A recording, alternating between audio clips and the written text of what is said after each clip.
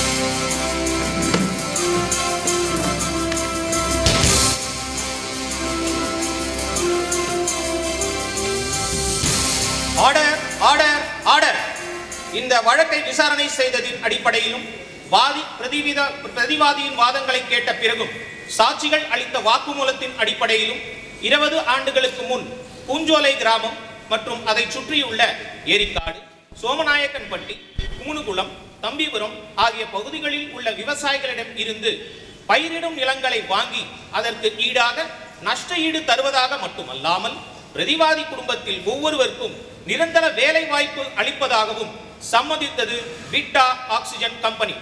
மேலும் இக்கிராம மக்களுக்கு இடைப்பட்ட பகுதியில் அரசு தரிசு நிலங்களுக்கு பெரும் பகுதியில் கட்டுமான பொருட்களை எடுத்து வரும்போதும் இறக்கி வைத்த போதும் பெரும் சேதத்தை விளைவித்துள்ளது.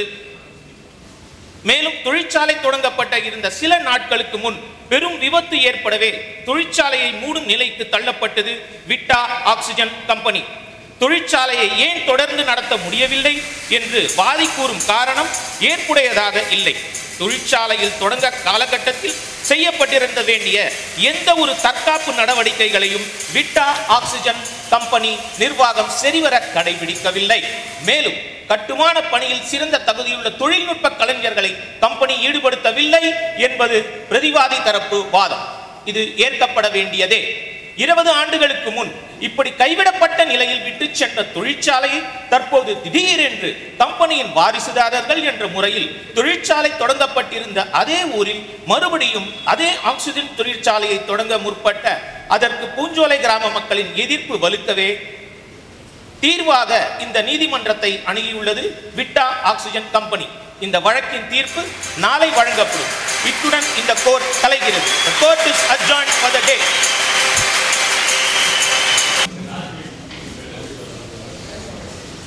ஐயா ஏன் இப்படி சோகமாக உட்காந்துக்கிட்டு இருக்கீங்க? ஐயா நீங்கள் கவலையே படாதீங்க ஐயா. நாளைக்கு நமக்கு நல்ல தீர்ப்பு வரத்தான் போகுதுயா ஆமாயா நம்ம ஊர் மக்கள் செஞ்ச செயல் நியாயம்தான்னு நிச்சயமாக நமக்கு நல்ல தீர்ப்பு வரத்தான் போகுதுயா வாங்கய்யா எழுந்திருங்க ஐயா. நாம யாருக்கும் எந்த கெடுதலும் செய்யலை. நம்ம ஊரோட நன்மைக்கு தான் நம்ம எல்லாரும் சேர்ந்து இப்படி ஒரு செயலில் ஈடுபட்டோம். அதனால கண்டிப்பா தீர்ப்பு நமக்கு சாதமாக தான் இருக்கும். ஆமாய்யா. நீங்கள் வேணா பாருங்கய்யா. நாளைக்கு நிச்சயமா நமக்கு வர தீர்ப்பு நல்ல தீர்ப்பாக தான் அமையும். நீங்கள் இப்படி வருத்தப்பட்டு உட்கார்றது வேண்டவே வேண்டாங்க வாங்கய்யா. எனக்கு நம்ம தங்கியிருக்க இடத்துக்கு போகலாம் வாங்கய்யா. நான் எடுத்த கொள்கையில் நான் தான் ஜெயிக்கணும். அந்த கம்பெனிக்காரன் அழிஞ்சு போகணும். அப்படிங்கிறதுக்காகவா இந்த கோர்ட்டுக்கு வந்திருக்கிறேன். இல்லை இதில் எனக்கு பேரு புகழும் கிடைக்கணும்னு தான் இந்த கோர்ட்டு வாசப்படியிலேயே இவ்வளவு காலமாக தவம் இருக்கிறேன்னா இந்த கோர்ட்டு வாசப்படியிலேயே நான் இவ்வளவு நாள் இருக்கிறேன்னா அதுக்கு காரணம் என்ன தெரியுமாப்பா? நாமளும் நம்ம ஊர் மக்களும் இவ்வளவு நாளாக அனுபவிச்சுக்கிட்டு இருந்தோமே இந்த நல்ல காற்று சுத்தமான தண்ணி சுகாதாரமான சுற்றுச்சூழல் இதெல்லாம் நம்ம மூதாதையர்கள் தான்ப்பா நம்ம பாட்டன் முப்பாட்டன் தாத்தா பாட்டி இவங்கெல்லாம் நம்மளை நம்பி வச்சுட்டு போன சொத்து. இந்த சொத்தை எல்லாம் நம்ம வருங்கால சத்தந்திரிக்கிட்ட பத்திரமா ஒப்படைக்க வேண்டாமா? அதுக்காக தான் இங்க இருக்கிறவங்கெல்லாம் ரொம்ப படிச்சவங்க சட்டம் தெரிஞ்சவங்க. ஒருவேளை இவங்க சொல்ற மாதிரி நான் இன்னைக்கு செய்த செயல் சட்டத்தை மீறிய செயலாக கூட இருந்திருக்கலாம். ஆனா எனக்கு என்னமோ என் மனசாட்சிக்கு என்னமோ நான் இன்னைக்கு செய்தது சரின்னு தான் படுது. அதனால எனக்கு நல்ல நம்பிக்கை இருக்கு. நாளைக்கு கோர்ட்ல நல்ல தீர்ப்பு வரும்னு நம்பிக்கை இருக்குதுப்பா. ஐயா இப்போ தீர்ப்பு நாளைக்குன்னு ஒத்தி வச்சுட்டாங்கய்யா. அதனால நாளைக்கு நம்ம பூஞ்சோலை போகிறதுக்காக ரயில் டிக்கெட் வாங்கியிருந்தோம். அந்த ரயில் டிக்கெட்டை திருப்பி கொடுத்துட்டு நாளைக்கு மக்கள் நாள் நம்ம ஊருக்கு போகிற மாதிரி ரயில் டிக்கெட் வாங்கிட்டு வாய்யா வேண்டாப்பா. வேண்டாம். நம்ம ஏற்கனவே முடிவு பண்ண மாதிரி நாளைக்கு ராத்திரியே கிளம்பிடுவோம். தீர்ப்பு எப்படியும் காலையில பத்து மணிக்கெல்லாம் வந்துடும் அதனால நம்ம ஏற்கனவே முடிவு பண்ண மாதிரி ராத்திரியே கிளம்பிடுவோம். ஒருவேளை தீர்ப்பு அந்த கம்பெனிக்கு சாதகமாயிட்டா? ஐயா ஐயா என்னங்கய்யா நீங்களே இப்படி நம்பிக்கை இல்லாமல் பேசலாமா? ஒரு பேச்சுக்கு சொன்னப்பா இல்லையா நான் இவ்வளவு நாளா கண்ணுக்கு கண்ணா என் குழந்தைங்கள மாதிரி பார்த்துக்கிட்டு இருந்தேனே. அந்த வனத்துறையில் இருக்கிற மரங்கள் எல்லாம் அதுங்கெல்லாம் அழிஞ்சு போறத பார்த்துக்கிட்டு என்னால சும்மா இருக்க முடியாதுப்பா. அப்படி எனக்கு ஒரு நிலைமை ஏற்பட்டு அந்த கம்பெனி அங்க மறுபடியும் கட்டலான்னு சொன்னா என் குழந்தைங்க மாதிரி இருக்கிற அந்த மரங்கள்லாம் அழிஞ்சு போறத பார்த்துக்கிட்டு என்னால சும்மா இருக்க முடியாது. அப்படி ஒரு நிலைமை வந்ததுன்னா அந்த மரங்களோட மரங்களா சேர்ந்து நானும் அழிஞ்சு போயிடுவேன். அதனால நம்ம நாளைக்கு ஏற்கனவே முடிவு பண்ண மாதிரி ஊருக்கு கிளம்பிடுவோம்ப்பா ஐயா நாம செஞ்சதுல எந்த தவறு இல்லைன்னு நாளைக்கு தீர்ப்பு வரதான் போகுது. கண்டிப்பா நம்ம ஊருக்கு நீங்க மாலை மரியாதையோட தான் போக போறீங்க. திரும்பி பாருங்களேன் வேணா. ஆமாய்யா. இத்தனை வருஷமா எங்க கூட இந்த வழக்குல எங்களுக்கு அனுசரணையா ஆதரவா இருந்துட்டுங்கய்யா. நீங்களே இப்படி பேசினா எப்படிங்க ஐயா ஐயா நிச்சயமா நீங்க பாருங்க. நாளைக்கு நமக்கு சாதகமா கோர்ட்ல தீர்ப்பு வரத்தான் போகுது. அம்மா சொல்ற மாதிரி. உங்களை நாங்க மான மரியாதையோட ஊருக்கு கூட்டிட்டு போகத்தான் போறோம். அங்க உங்களுக்காக பெரிய விழா எடுக்கத்தாயா போறோம். ஆமா. ஐயா கண்டிப்பா நம்ம ஜெயிக்க தான் போறோம். நமக்கு வெற்றி கிடைக்கும் போது நீங்க ஊருக்கு மாலை மரியாதையோட திரும்பி போக போறோம். ஆமா ஐயா ஆமாம்மா. ஒன்று மட்டும் நிச்சயம். நாளைக்கு நீங்க சொல்ற மாதிரி ஊருக்குள்ள நான் மாலை மரியாதையோட போக போறேனா? இல்ல அதே மாலை மரியாதையோட இந்த உலகத்தை விட்டே போக போறேன்னு தான் தெரியல. ஐயா, அப்படி சொல்லாதீங்க ப்ளீஸ் சொல்லாதீங்க. நீங்க தான் ஐயா அடிக்கடி எங்களை பாசிட்டிவா திங்க் பண்ணணும்னு சொன்னீங்க. அப்படி சொன்ன நீங்களே இப்படி சொல்லலாமா ஐயா?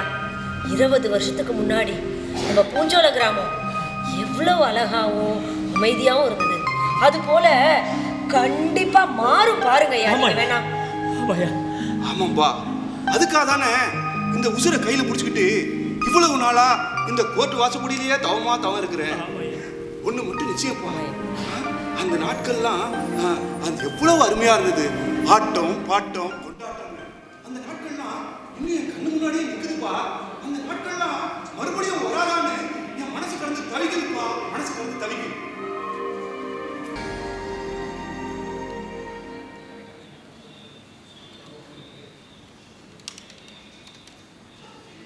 Hello. Mister Kaushik. Yes sir கொஞ்சம் கேபினுக்கு வர முடியுமா? வரும்போது நம்ம அடுத்த மாதம் ப்ரொடக்ஷன் ஸ்டார்ட் பண்ணுறோம் இல்லையா? அந்த ஏரிக்காடு கிராம ஃபேக்ட்ரி அந்த ஃபைலை கொஞ்சம் எடுத்துட்டு ஸ்டடி பண்ணிட்டு வாங்க. நம்ம கொஞ்சம் டிஸ்கஸ் பண்ணணும். ஆ குயிக் ஆ.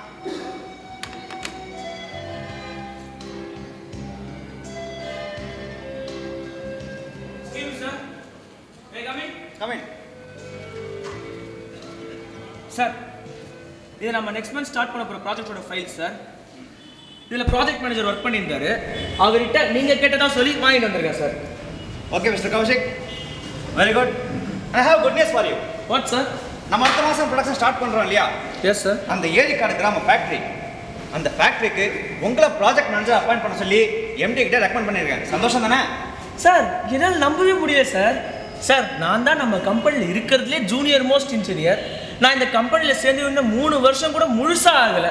அதுக்குள்ள எனக்கு சார் என்னால் நம்ப முடியல சார் எனியோ என் பேரை எம்டி கிட்ட ரெக்கமெண்ட் பண்ணதுக்கு ரொம்ப தேங்க்ஸ் சார் கௌஷிக் கௌஷிக் நீங்கள் என்னதான் ஜூனியர் மோஸ்ட்டாக இருந்தால் கூட கெமிக்கல் இன்ஜினியரிங்ல எம்டெக் பாஸ் பண்ணியிருக்கீங்க அதுவும் ஃபர்ஸ்ட் கிளாஸில் பாஸ் பண்ணியிருக்கீங்க அதனால தான் நான் உங்கள் பேரை நான் வந்து எம்டிக்கு ரெக்கமெண்ட் பண்ணேன். சார் நீங்கள் என் மேலே வச்சிருக்க நம்பிக்கை நான் நிச்சயமாக காப்பாற்றுவேன் சார் Good. இன்ஃபேக்ட் சொல்லப்போனால் நான் இந்த கம்பெனியை விட்டு வெளியே போகணும்னா ஃபாரினுக்கு தான் போகணும்னு சொல்லிட்டு ஒரு எய்ம் வச்சுருந்தேன் சார் ஆனால் இப்போ இந்த கம்பெனியில் எனக்கு ப்ரொமோஷன் கிடைச்ச போது நான் அந்த ஃபாரின் போகிற பிளானை கூட கேன்சல் பண்ணலான்னு இருக்கேன் sir very good mister Kaushik very good அது மட்டும் இல்லை நீங்கள் மட்டும் நம்ம எம்டி விரும்புகிற மாதிரியே நம்ம ஃபேக்ட்ரி ஆரம்பிக்கிறோம் இல்லையா? ஏரிக்காடு அந்த சைட்டை சுற்றி சில ப்ராப்ளம் இருக்குது அதை solve செய்துட்டா you'll be the permanent branch manager வருது சார் ப்ராஜெக்ட் சைட்டில் என்ன சார் பிரச்சனை? யார் பிரச்சனை பண்ணுறா நாம தான் நல்லா தரவங்களுக்கு நல்ல காம்பன்சேஷன் தரோமே. அப்புறம் என்ன? கரெக்ட் மிஸ்டர் கௌஷிக் நம்ம நிலங்கள்லாம் கையகப்படுத்தி அது நல்ல காம்பன்சேஷன் கொடுத்தாச்சு அடுத்த வாரம் நம்ம ஊரை சேர்ந்த மந்திரியை கூப்பிடவும் நம்ம ஏற்பாடுகள்லாம் பண்ணிக்கிட்டு இருக்கோம். Super, ஆனா, sir. இந்த பிரச்சனைன்றது அந்த ஏரிக்காட்டுக்கு பக்கத்தில் பூஞ்சொலைன்னு ஒரு கிராமம் இருக்கு. அங்கேருந்து தான் உருவாகும் போல தெரியுது மிஸ்டர் கௌஷிக் சார் என்ன சொன்னீங்க? பூஞ்சோலை பூஞ்சோலை சார் அந்த கிராமம் எங்களோட சொந்த கிராமம் சார். அங் எங்க அங்- அ- அங்கதான் சார் எங்க அப்பா இன்னமும் இருக்காரு. அந்த ஊர்ல இருக்க கவர்மெண்ட் ஸ்கூலோட ஹெட் மாஸ்டரே அவர் தான் சார் ரொம்ப அருமையான ஊர் சார் அது. கிழக்கு பகுதியில் என்றைக்குமே வத்தாம ஓடுற ஒரு ஆறு. மேற்கு பகுதியில் மலையடிவாரத்தில் இருக்க இயற்கை காடுகள். ரொம்ப ரம்மியமான ஊர் சார் அது. சொல்லப்போனா எலிமெண்ட்ரி எஜுகேஷன் அங்கே தான் சார் படித்தேன் மிஸ்டர் கௌஷிக் இந்த விஷயம் எல்லாமே எனக்கு தெரியும். போன வாரம் தான் உங்கள் பர்சனல் ஃபைல் நான் ஸ்டடி பண்ணி எல்லாத்தையும் நான் தெரிஞ்சுக்கிட்டேன். இன்ஃபேக்ட் நீங்கள் இந்த ஊரை சேர்ந்தோன்றது தான் இந்த ப்ராஜெக்ட் நான் ஸ்பெசிஃபிக்காக உங்களை சென்ட் பண்ணியிருக்கேன்னு சொல்லலாம். தேங்க்யூ சார் தேங்க்யூ சார் இப்போ நான் என்ன பண்ணணும்னு சொல்லுங்கள் அதுபடியே பண்ணுறேன் மிஸ்டர் கௌஷிக் நம்ம ப்ராஜெக்ட் இன்ஜினியர் இருக்கா இல்லையா? அவருக்கு வந்து இந்த இயற்கை சூழல் அமைஞ்ச ஊர் அந்த ரம்மியமான கிளைமேட்டு அந்த வற்றாத ஆறு இதெல்லாமே ரொம்ப பிடிச்சி போச்சு. அதனால் இந்த அட்மினிஸ்ட்ரேட்டிவ் பிளாக்கும் ஸ்டாஃப் குவார்ட்டர்ஸும் அங்கேயே கட்டினா நல்லா இருக்கும்னு ரிப்போர்ட்டில் கொடுத்துருக்காரு. கரெக்ட் சார் அந்த அட்மினிஸ்ட்ரேட்டிவ் பிளாக்கும் ஸ்டாஃப் குவார்ட்டர்ஸும் அந்த இடத்துல கட்டினா இண்டஸ்ட்ரி வரப்போகிற இடத்துல இருந்து ஜஸ்ட் த்ரீ கிலோமீட்டர்ஸ் தான் சார் பூஞ்சோல கிராமம் அவ்வளோலாம் கிடையாது மிஸ்டர் கௌஷிக் ஆ? வெஸ்ட் சைடில் கொஞ்சம் தரிசு காடுகள்லாம் இருக்குது பார்த்தீங்களா அங்கே இருக்கிற மரத்தெல்லாம் கிளியர் பண்ணிட்டு ஒரு ரோடு போட்டோம்னா ஜஸ்ட் ஹாஃப் அ கிலோமீட்டர் நம்ம பூஞ்சல போயிடலாம். சார் அங்கே இருக்க காடுகள்லாம் அரசாங்க காடுகள் சார் அது அது மட்டும் இல்லாமல் பல்நூறு வருஷம் மகிமை வாய்ந்த மூலிகைத்தன்மை வாய்ந்த மரங்கள்லாம் அங்கே இருக்குன்னு சொல்லி எங்கள் அப்பா அடிக்கடி என்கிட்ட சொல்லுவார் சார் மிஸ்டர் கௌஷிக் அதெல்லாம் அரசாங்க தரிசன காடுகள் தானே. அதெல்லாம் எப்படி கைகப்படுத்துறது எப்படி அப்ரூவல் ஆகுது நம்ம மேனேஜர் பார்த்துப்பாரு. எம்டி பார்த்துப்பாரு. ஏயா ஆ you don't have to interfere unnecessary sir அப்புறம் என்ன சார் பிரச்சனைங்க நம்ம ஃபேஸ் பண்ணுற பிரச்சனையே அந்த பூஞ்சலை கிராம மக்கள் தான். நம்ம ஃபேக்ட்ரி அங்கே வர்றது அவங்களுக்கு பிடிக்கல. அதனால் ஏதோ போராட்டமோ ஆர்ப்பாட்டமோ பண்ணுவாங்க போல தெரியுது. நமக்கு வந்து அவங்க ஒத்துழைப்பே தர மாட்டேங்கிறாங்க கௌஷிக். சார் அங்க மக்கள் அங்க பிரச்சனை பண்றதுல எந்த வித அர்த்தமுமே இல்லையே சார். அவங்க ஊர் பக்கத்துல ஒரு தொழிற்சாலை வருதுன்னா அந்த ஊர் மக்கள் எல்லாருக்குமே வேலை வாய்ப்பு கிடைக்கும். அந்த ஊர் நல்லா டெவலப் ஆகும். ஸ்கூல்ஸ் காலேஜஸ் ஹாஸ்பிட்டல்ஸ் அப்படின்னு எல்லா வசதிகளும் கிடைக்குமே. அப்புறம் என்ன? கரெக்டு இப்போது உங்களுக்கு தெரிஞ்ச இந்த எந்த விஷயமும் அந்த ஊர் மக்களுக்கு தெரியல. காரணம் அங்கே பல பேர் இன்னும் படிப்பறிவே இல்லாதவங்கள தான் இருக்காங்க. அதனால் இந்த ப்ராஜெக்ட் சைட்டில் நீங்கள் வந்து ஒரு மேனேஜராக இருந்தால் மட்டும் பத்தாது. ஒரு சக ஊர்க்காரராக மாறி இந்த இது வந்தால் இந்த ஸ்கீம் வந்தால் என்னென்ன நன்மைகள் சொல்லி அந்த மக்களுக்கு எடுத்து சொல்லி புரிய வைக்கணும். அவங்க ஒத்துழைப்பை நீங்கள் தான் வாங்கி தரணும். நீங்கள் அந்த ஊரை சேர்ந்தவர். நீங்கள் பண்ணீங்க நான் ரொம்ப நம்புகிறேன் கண்டிப்பாக சார். கண்டிப்பாக பண்ணுறேன் எங்கள் அப்பா அந்த ஊரில் நாற்பது வருஷமாக வாழ்ந்துட்டு இருக்கார். அவர்கிட்ட கலந்து பேசி இந்த ப்ராஜெக்ட்டுக்கு ஒரு நல்ல முடிவா நான் சொல்றேன் சார் ஓகே மிஸ்டர் கௌஷிக் அப்போ வந்து நீங்கள் உடனடியே ஊருக்கு போக ஏற்பாடு பண்ணுங்கள் உங்கள் அப்பா பார்த்து பேசுங்க. ஒரு ஒன் வீக்கில் எனக்கு வந்து ரிப்போர்ட் அனுப்புங்க. நீங்கள் போயிட்டு வர அந்த ஒன் வீக்கை நான் ஆன் ட்ரீட் பண்ண சொல்கிறேன் okay thank you sir all the very best thank you sir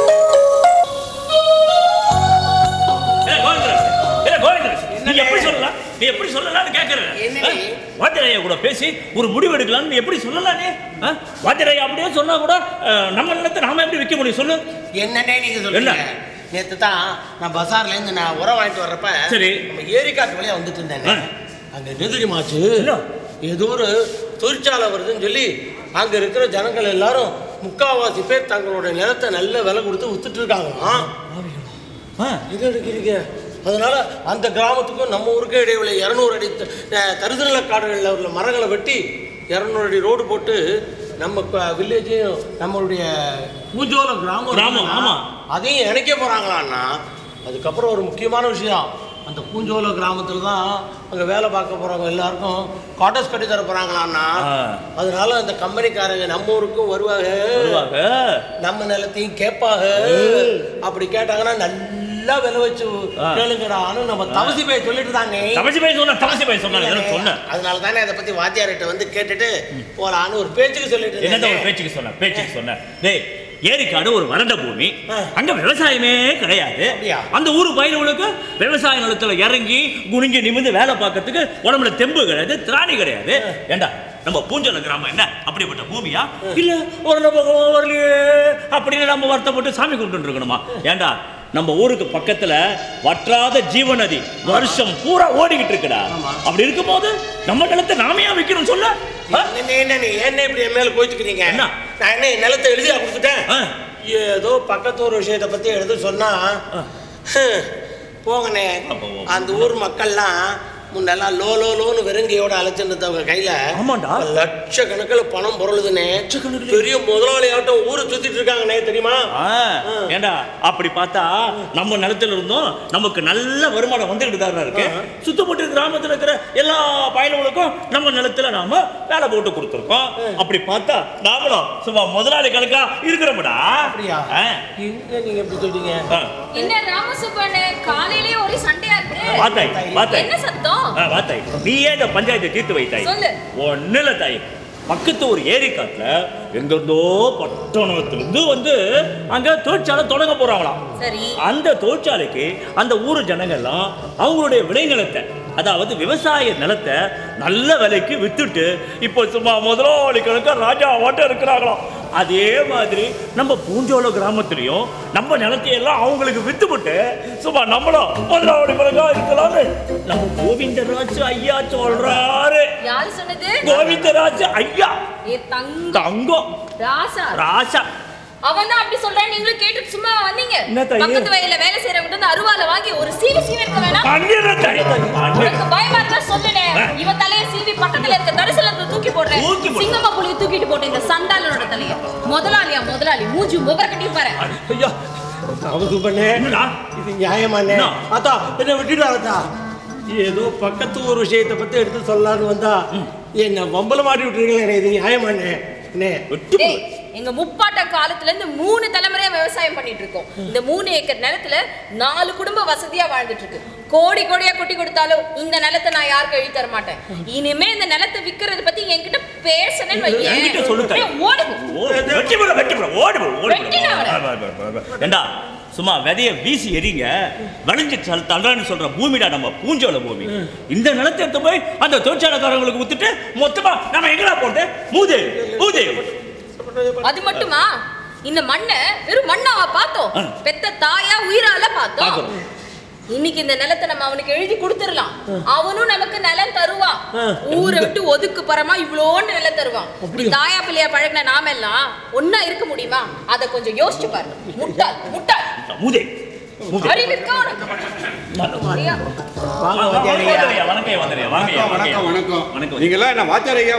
கூப்பிடும்போது மனசுக்கு என்னமோ ரொம்ப சந்தோஷமா தான் இருக்குது. ஆனா பாருங்க போன மாசமே நம்ம ஸ்கூல் ஹெட் மாஸ்டர் பதவியிலேருந்து நான் ஓய்வு பெற்றாச்சு. அதனால இனிமேல் யாரும் வாத்தியார் ஐயான்னு கூப்பிடாதீங்க. சாதாரண சுந்தர ஐயா தான் நான். ஐயா, என்னையா அப்படி ஐயா, சொல்லிட்டீங்க ஐயா? நேற்று தான் உங்களை பள்ளிக்கூடத்தில் பார்த்தேனே ஐயா. பிள்ளைகளுக்கெல்லாம் பாடம் சொல்லி கொடுத்துருந்தீங்க இல்லையா? கோவிந்தராசா ஆமாய்யா. ஆ, அது ஒண்ணு இல்லப்பா கோவிந்தராசு புதுசா வந்திருக்கிற ஹெட் மாஸ்டர் சேவல்பட்டில இருந்து வராரு அதாவது தினம் பத்து பன்னெண்டு கிலோமீட்டர் அவர் பஸ்ல தான் வராரு. அதனால அவர் காலையில வர்றதுக்கு கொஞ்சம் முன்ன பின்ன ஆகுது. அதான் நம்ம வீட்டுல சும்மா தானே இருக்கிறோம். கொஞ்ச நேரம் காலையில போய் அந்த ஒரு மணி நேரம் அந்த பிள்ளைங்களுக்கு எல்லாம் பாடம் சொல்லி கொடுத்தா எனக்கும் கொஞ்சம் பொழுது போன மாதிரி இருக்கும். மனசுக்கு கொஞ்சம் நிம்மதியா இருக்கிறோம்னு தினம் ஸ்கூலுக்கு போயிட்டு வரேன். ஆமா நீ நேற்று என்ன விஷயமா என்ன ஸ்கூல் பக்கம் பார்க்க வந்திருந்தப்பா? அவன் ஒரு வெட்டி பையன். அவன் ஒரு வெட்டி பையன். அவனுக்கு ஒரு வேலையும் கிடையாது. அந்த ஊருக்கு போக வேண்டியது. அங்க என்னென்ன பேசுறாங்கன்னு இந்த ஊர்ல வந்து சொல்ல வேண்டியது. இந்த ஊருக்கு போக வேண்டியது. இங்க என்னென்ன பேசுறாங்கன்னு அந்த ஊர்ல போய் சொல்ல வேண்டியது. இப்படியே பொருளை சொல்றதையே வாழ்க்கையா வச்சுருக்கிறாயா ஐயா வாத்திரியா நீங்களே சொல்லுங்க. அந்த நேரத்துல அவன் நிலத்துல இறங்கி வேலை பார்த்தான்னா நாலு காசு பார்க்கலாம் இல்லையா? அவன் பண்ண மாட்டான். தப்புப்பா ராமசுப்பு ஆ, நானே பார்த்துருக்கிறேன்? கோவிந்தராசு எவ்வளோ நாள் அவன் குடும்பத்தோட இறங்கி வயல்ல வேலை பண்ணிட்டு இருக்கிறான் தெரியுமா?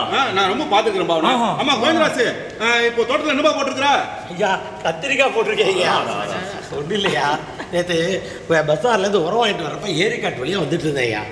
அங்கே என்னன்னா புதுசாக ஒரு கம்பெனி ஏதோ ஆக்சிஜன் கம்பெனியா அந்த கம்பெனிக்காரங்க அந்த ஊரில் இருக்க மக்கள்கிட்ட எல்லாம் நல்ல பணம் கொடுத்து அந்த நிலத்தெல்லாம் கரையத்துக்கு வாங்கிட்டு இருக்காங்கன்னு சொல்லிட்டு இருந்தேன் ஐயா அதே கம்பெனிக்காரங்க நம்ம ஊருக்கு வந்து நம்ம நிலத்தையும் கேட்க இருக்காங்கன்னு ஒரு பேச்சுக்கு சொல்லிட்டு இருந்தேன் ஐயா அதுக்குள்ளே என்னடா சின்ன தாய் ராமசுபோன வெட்டுவேன் குத்துவேன் என்ன மிரட்டுறாங்க ஐயா. மிரட்டுறாங்க. ஆமாம்பா கோவிந்தராசு நான் கூட போன வாரம் வாக்கிங் போகும்போது அரசு தரிசன காடுகள் வழியாக தான் போயிட்டு இருந்தேன். அப்போ யாரோ நாலஞ்சு பேர் அளந்து குறிப்பெடுத்துட்டு இருந்தாங்க. நான் ஏதோ முதல்ல இந்த ஃபாரஸ்ட் டிபார்ட்மெண்ட் ஆளுங்க தான். ஏதோ இந்த விலங்குகள் சர்வே தான் எடுக்கிறாங்க போல் இருந்து.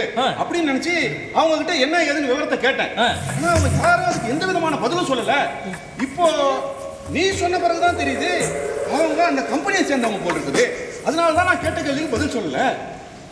பாத்தியாரையா அந்த தொழிற்சாலைக்காரங்க நம்ம ஊரை சுற்றி இருக்கிற கிராமத்தில் கிட்டத்தட்ட ஒரு ஐநூறு ஏக்கர் நிலத்தை கரையத்துக்கு பண்ணிட்டாங்கய்யா அவங்களுக்கெல்லாம் அரசியல் செல்வாக்கு வேறு இருக்கும் போல் இருக்கையா நம்ம ஊருக்கு பக்கத்தில் இருக்க தரிசல காட்டில் உள்ள மரங்களை வெட்டி இரநூறு அடி ரோடு போட்டு நம்ம ஊரையும் இணைக்க போகிறேன்னு சொல்லிட்டு இருக்காங்க. முக்கியமாக நம்ம பூஞ்சோல கிராமத்தில் அங்கே வேலை பார்க்க போகிறவங்களுக்கெல்லாம் குவார்டர்ஸ் கட்ட போகிறாங்களேன்னு ஒரு பேசிகிட்டு இருக்காங்க ஐயா. ஐயா தலைமுறை தலைமுறையாக நம்ம இந்த ஊரில் வாழ்ந்துக்கிட்டு இருக்கோம் இருக்கோம்யா நல்ல முறையில் விவசாயம் செஞ்சுக்கிட்டு நம்ம சந்தோஷமாக வாழ்ந்துக்கிட்டு இருக்கோம் இருக்கோம்யா இதை நம்ம அனுமதிக்க கூடாதுயா? பக்கத்து ஊர்ல இருக்க காடுகளை வெட்டுறதை நம்ம அனுமதிக்க கூடாதுங்கய்யா ஊரே இது ஒண்ணா சேர்ந்து எதிர்க்கணும் தொழிற்சாலை வராம நாம தடுக்கணும். இருப்பா கோவிந்தராஜ் நானும் போன வாரம் விஏ கிட்ட இதை பத்தி என்ன ஏதுன்னு விசாரிச்சிருக்கிறேன். சரிங்க. அவரும் என்ன ஏதுன்னு விசாரிச்சு சொல்றேன்னு சொல்லியிருக்கிறாரு. தேவைப்பட்டா நாம எல்லாம் போய் கலெக்டர் அலுவலகத்துக்கு போய் கலெக்டர் பார்க்கறதுக்கு ஏற்பாடு செய்யறேன்னு சொல்லியிருக்கிறாரு. அதனால பார்ப்போம் என்னன்னு பார்ப்போம். அது சரி ராமுவனே நீங்கள் சொல்கிறது எனக்கு ஒன்றும் புரியலையே என்னடா புரியல? பக்கத்து ஊர் கிராமத்தில் தொழிற்சாலை கட்டுறதுக்கு. நம்ம எப்படி அதை தடுக்க முடியுது ஏன்னா அந்த கம்பெனிக்காரங்க ஏற்கனவே அந்த கிராமத்தில் நல்ல நிலங்கள் எல்லாத்தையும் கரையம் பண்ணிட்டாங்க. சரிதான் அந்த ஊரில் அடுத்த வாரம் அடிக்கல் நாட்டு விழா நடக்க போகுது போல் இருக்கு. அதுக்கு நம்ம ஊர் அமைச்சர் தான் தலைமை தாங்க போறாராம். அப்படி இருக்கிறப்ப அந்த அரசாங்கமே வந்து நாளைக்கு நம்ம நிலத்தையும் கேட்டு நீங்கள் காலி பண்ணுங்கடா அப்படின்னு சொல்லிட்டாங்கன்னா நம்மளும் ஊரை விட்டு போக வேண்டியதானுன்னே தப்புப்பா கோவிந்தராஜ் அரசாங்கன்றது யாரு? நம்மெல்லாம் ஓட்டு போட்டு தேர்ந்தெடுத்தவங்க தானே. அதனால நம்ம சுக துக்கங்கள்லையும் நம்மளுடைய நன்மை தீமைகள்லையும் அரசாங்கத்துக்கும் அக்கறை எடுக்கணும்பா. அப்படி இல்லாம நமக்கு ஒரு கஷ்டத்தை கொடுத்தா ராமசுப்பு சொல்ற மாதிரி கேள்வி கேட்கறதுல ஒன்றும் தப்பு இல்லப்பா. ஐயா நான் ஒன்றே ஒன்று சொல்கிறேன் இவ்வளவு தூரம் ஆனதுக்கப்புறம் நம்ம ஊர் மக்கள் எல்லாம் சேர்ந்து ஒரு தீர்மானம் பண்ணுவோம் ஐயா. நம்ம ஊர் ஜனங்க எல்லாருமா சேர்ந்து இந்த நம்ம விளைநிலத்தை யாருக்கும் இந்த கம்பெனிக்காரங்களுக்கு எழுதி கொடுக்கக்கூடாதுன்னு ஒரு தீர்மானத்தை போட்டுருவோம் ஐயா ஆனால் ஒன்று அந்த தருதல காடுகளில் இருக்கிற மரத்தை வெட்டுறதை நம்மளால தடுக்க முடியாதியா?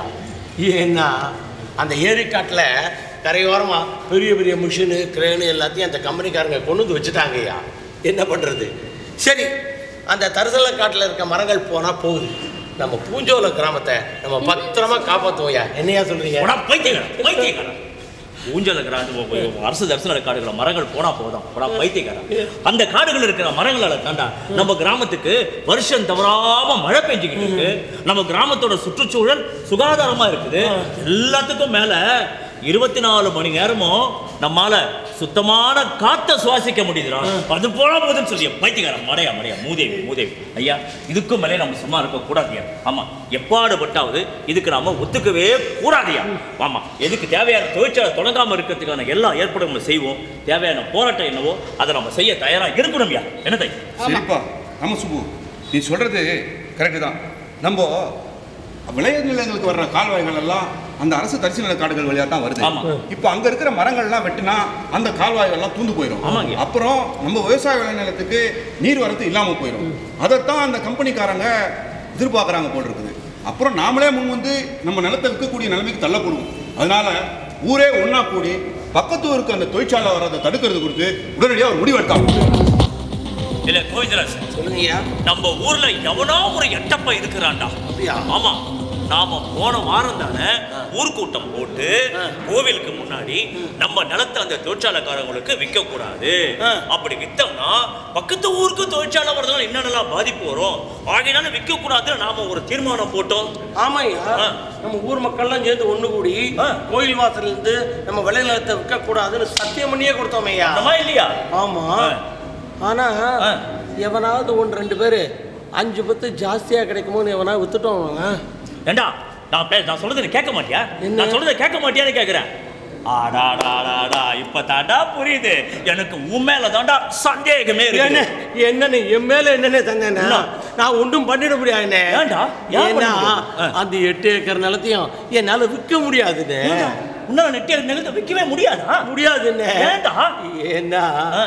அந்த எட்டு ஏக்கர் நிலமும் எட்டு ஏக்கர் நிலமோ என் பொண்டாட்டி பேர்ல இருக்குண்ணே ஆடா பாவி இப்பதான்டா புரியுது. உன் பொண்டாட்டி உன் மேல எவ்வளவு நம்பிக்கை வச்சிருக்கிறான்னு இப்பதான்டா புரியுது. சரி விஷயத்துக்கு வருவோம் நம்ம.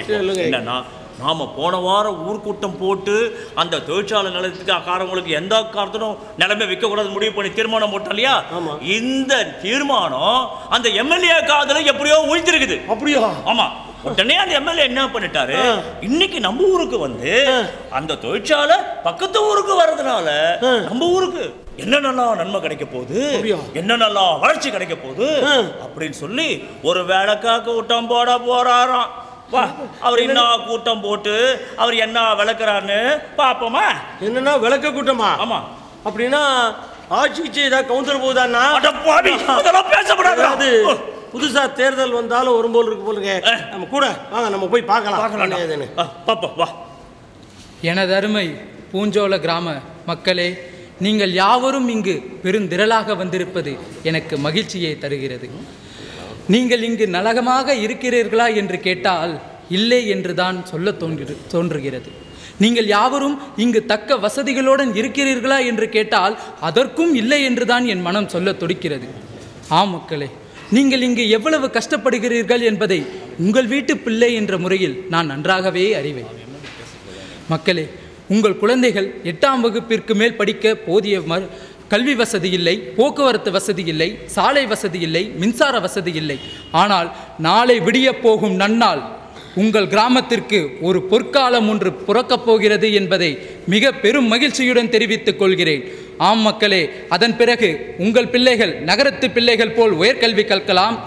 உரிய மருத்துவ மனச மருத்துவ வசதிகள் உங்கள் கிராமத்திற்கு கிடைக்கும். போக்குவரத்து வசதி சாலை வசதி என பல வசதிகள் உங்கள் கிராமத்தை வந்தடைய போகிறது. ஆ மக்களே நமது பூஞ்சோலை கிராமத்து அடுத்துள்ள ஏரிக்காட்டு கிராமத்தில் புதிய ஆக்சிஜன் தொழிற்சாலை அநேகமாக இன்னும் சில நாட்களில் வரவிருக்கிறது என்பதை பெரும் மகிழ்ச்சியுடன் தெரிவித்துக் கொள்கிறேன். என்னடா ஒரு பையல கை தட்ட மாட்டேன்றான் மக்களே இதற்காக நீங்கள் பெரிதாக ஒன்றும் செய்ய வேண்டியதில்லை. ஊரில் பல ஏக்கர் நிலங்களை நீங்கள் விற்க வேண்டி வரலாம். அதற்காக நீங்கள் எதுவும் அச்சப்பட தேவையில்லை. அதற்கு பதிலாக வேறொரு நல்லதொரு இடத்தை தொழிற்சாலை நிர்வாகம் உங்களுக்கு தர இசைந்துள்ளது என்பதை பெரும் மகிழ்ச்சி தெரிவித்துக் கொள்கிறேன். அது மட்டுமல்லாமல் நிலம் கொடுப்பவர்களுக்கு வீடு கட்டி தரவும் அதில் உள்ள நிலங்களுக்கு ரொக்கமாக பணமும் தரவும் தொழிற்சாலை நிர்வாகம் இசைந்துள்ளது என்பதை உங்களில் அக்கறை உள்ள ஆய்வாளராக நான் பெரும் மகிழ்ச்சியுடன் தெரிவித்துக் கொள்கிறேன். எனவே உங்கள் வாழ்க்கை தரம் உயரப் போகிறது என்பதை உறுதியளிக்கிறேன். பாத்தீங்களாண்ணே என்ன பாத்தீங்களா? நான் சொன்னா நீங்க நம்ப மாட்டேன்னு சொல்லிட்டு இருந்தீங்களே? இப்ப பாருங்க நம்ம ஊருக்கு எவ்வளவு நல்ல வசதியெல்லாம் வரப்போகுதுன்னு பாருங்க. நீங்க வேணா பாருங்க இந்த பூஞ்சோல கிராமம் கூடிய சீக்கிரம் சொர்க்க பூமியா மாறப்போகுதுண்ணே நான் மூதேவி நம்ம ஊரு வேணா சொர்க்க பூமியா மாறலாம்டா. ஆனா நம்மளோட வாழ்க்கை நரகமா போயிடும்டா. நரகமா போயிடும். பாருடா இன்னைக்கு இந்த எம்எல்ஏ நான் என்ன பண்றேன்னு பாரு. என்ன- பண்றேன்னு பாரு. என்ன- என்ன பண்ண போறீங்கண்ணே? எம்எல்ஏ ஐயா இதோ, இதோ இங்க இருக்க. நான் தான் ராமசுப்பு பேசுறேன் ராமசுப்பு. விவசாயி. விவசாயி பேசுறேன் ஐயா விவசாயி பேசுறேன். ஐயா நீங்க என்ன பண்ணாலும் சரியா. எங்க நிலத்தை உங்களுக்கு நாங்க கொடுக்கவே மாட்டோம். அந்த தொழிற்சாலைக்கு நாங்க கொடுக்க மாட்டோம். ஐயா அந்த விவசாய நிலத்தை எங்களுக்கு ஜீவாதாரம். எங்க ஜீவாதாரத்தை உங்ககிட்ட கொடுத்துட்டு நாங்க எங்கேயா போக முடியும். எங்க எந்த போராட்டம் செஞ்சாவது தொழிற்சாலை வரதை தடுப்போமையா பார்க்கலாமையா பார்க்கலாம் தம்பி தம்பி தம்பி. நீங்கள் உணர்ச்சி வசப்படுறதால ஒரு நன்மையும் கிடையாது.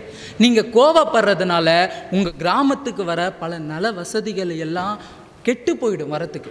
அதாவது இப்போ பார்த்தீங்கன்னா நம்ம பூஞ்சோலை கிராமத்தில் தொழிற்சாலை பக்கத்தில் வந்துச்சுன்னா நம்ம நாட்டில் உள்ள நம்ம நம்ம கிராமத்தில் உள்ள இளைஞர்களுக்கு எல்லாருமே நிரந்தர வேலை வாய்ப்பு கிடைக்கும். அது மட்டும் இல்லாமல் பக்கத்தில் இருக்கிற அரசு தரிசு நில காடுகளில் முட்புறங்களும் காடுகளும் இருக்கிறதுனால நம்ம கிராமத்தை சேர்ந்த இளைஞர்கள் எல்லாம் சமூக விரோத செயலில் ஈடுபட்டு இருக்காங்கன்றது அடிக்கடி என்கிட்ட வந்துக்கிட்டே இருக்கு புகார்கள். அதனால் அதையெல்லாம் சரி செஞ்சு அதன் வழியே ஒரு சாலை ஒன்று அமைச்சு பூஞ்சோலியும் ஏரி ஒன்றா இணைக்கிறதுக்கு இந்த மாபெரும் செலவை தொழிற்சாலை நிர்வாகமே ஏற்றுக்குச்சு அப்படின்ற பெரும் விஷயத்தை மகிழ்ச்சியுடன் தெரிவித்துக் கொள்கிறேன். அது மட்டும் இல்லை மக்களே நீங்கள் இங்கே உணர்ச்சிவசப்பட்டு ஒன்றுமே ஆக போகிறதில்ல அதனால அதுக்கப்புறம் இந்த பூஞ்சாலை கிராமத்தில் அந்த தொழிற்சாலை பணிப்புரிவுகளுக்கு கோட்ரஸ் கட்டிட்டாங்கன்னு வச்சுக்கோங்க. நம்மளோட இந்த சின்ன கிராமமும் டவுன்ஷிப் அந்தஸ்துக்கு உயரும் என்பதை பெரும் மகிழ்ச்சியுடன் தொல் தெரிவித்துக் கொள்கிறேன். மக்களே உங்கள் அக்கறை மீது ஆழ்வுள் ஆர்வமுள்ள ஒருவனாக உங்கள் மீது அன்புள்ள ஒருவனாக நான் வேண்டுமானால் ஒன்று செய்கிறேன். அந்த தொழிற்சாலை நிர்வாகத்துடன் பேசி முதலில் யார் நிலம் கொடுக்க வருகிறார்களோ அவர்களுக்கு அதிகமாக பணத்தை கொடுக்கும்படி அந்த தொழிற்சாலை நிர்வாகத்துடன் பேசி ஒரு முடிவிற்கு வந்து என்னாலான எல்லா உதவிகளையும் செய்ய ஏற்பாடு செய்கிறேன். வாய்ப்பளித்ததற்கு நன்றி வணக்கம். கேட்டிங்களா ஐயா? ஐயா இதில் இந்த ஆளுக்கு அரசியல் சப்போர்ட்டு பெருசாக இருக்கும் போது தெரியுதுயா ஐயா எப்பாடுபட்டாவது இந்த தொழிற்சாலை வராமல் நாம் தடுக்கணும் ஐயா ஒரே ஒன்றா சேர்ந்து எதிர்க்கணும். அதுக்கு என்ன போராட்டம் செய்யணுமோ அது எல்லாத்தையும் நானே முன்னே நின்று செய்கிறேயா என்னங்க ஐயா சொல்கிறீங்க இருப்பா ராம சுப்பு என்னங்கய்யா? அவரு அரசியல்வாதி. அப்படிதான் வாய் ஜாலமா பேசுவாரு நாம நாளைக்கே உடனடியாக கலெக்டரை போய் பார்ப்போம். சரிங்க. கலெக்டரை பார்த்து நம்ம தரப்பு வாதங்களை எடுத்து சொல்லுவோம். சரிங்க. பக்கத்து ஊருக்கு இந்த தொழிற்சாலை வரதுனால நம்ம ஊருக்கு என்னென்ன பாதிப்புகள்லாம் வருது நம்ம பக்கத்து ஊர் ஊர் சுற்றுச்சூழல் எப்படிலாம் பாதிக்கப்படும்னு எடுத்து சொல்லி புரிய வைப்போம். சரிங்க.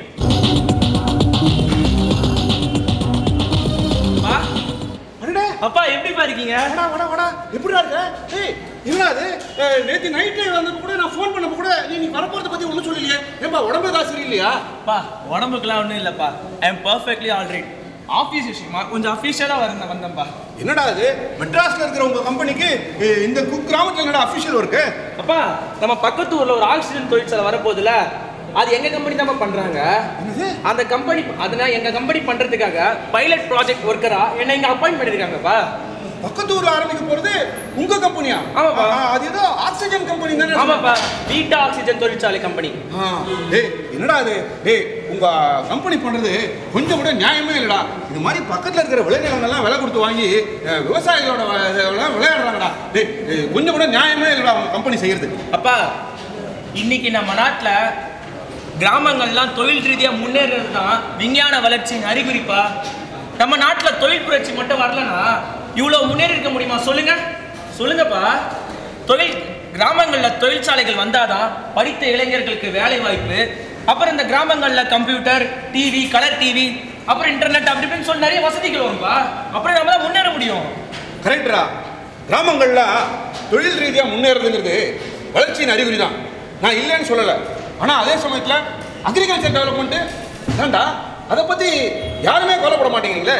இப்படி விவசாய விளைநிலங்கள்லாம் வீட்டு மனைகளாகவும் தொழிற்சாலைகளாகவும் மாறுறதுனால தான் முப்பது வருஷம் முப்பத்தஞ்சு வருஷத்துக்கு முன்னாடி ஐம்பதாயிரம் அறுபதாயிரம் இந்த கலர் டிவி கம்ப்யூட்டரும் இன்னைக்கு இருபதாயிரம் பதினஞ்சாயிரம் விலை குறைஞ்சி போச்சு. ஆனால் அதே முப்பது வருஷத்துக்கு முன்னாடி கிலோ அஞ்சு ரூபாய் பத்து ரூபான்னு விற்று இந்த அரிசி இன்னைக்கு ஐம்பது ரூபா அறுபது ரூபான்னு விற்குது. ஏண்டா? இதுதான் உங்க முன்னேற்றமாடா? அப்பா உங்களுக்கு இந்த ஊர்ல நல்ல மதிப்பும் மரியாதையும் இருக்கு. மாசம் மாசம் பென்ஷன் பத்தாயிரம் ரூபாய் கிட்ட வருது. நான் நல்லா தான் சம்பாதிக்கிறேன். இன்னும் எதுக்குப்பா இந்த நிலத்தை வச்சுக்கிறீங்க நீங்களாவது நம்ம இருபது ஏக்கர் நிலத்தை எங்க கம்பெனிக்கு வித்துடலாமே. ஏய் கௌசிக் நீ உன் பேருக்கு பின்னாடி போட்டுருக்கியே. எம்டெக்னு ஒரு டிகிரி அது நீ ரொம்ப கஷ்டப்பட்டு வாங்கினதா நீ நினைச்சிட்டு இருக்கலாம். அது ஓரளவுக்கு உண்மையும் கூட. ஆனா அதை நீ வாங்குறதுக்கு நான் எவ்வளவு கஷ்டப்பட்டேன் அப்படின்னு உனக்கு தெரியுமாடா? நீ நல்லா படிச்ச 98% எயிட் பர்சன்டேஜ் தான் ஸ்கோர் பண்ண.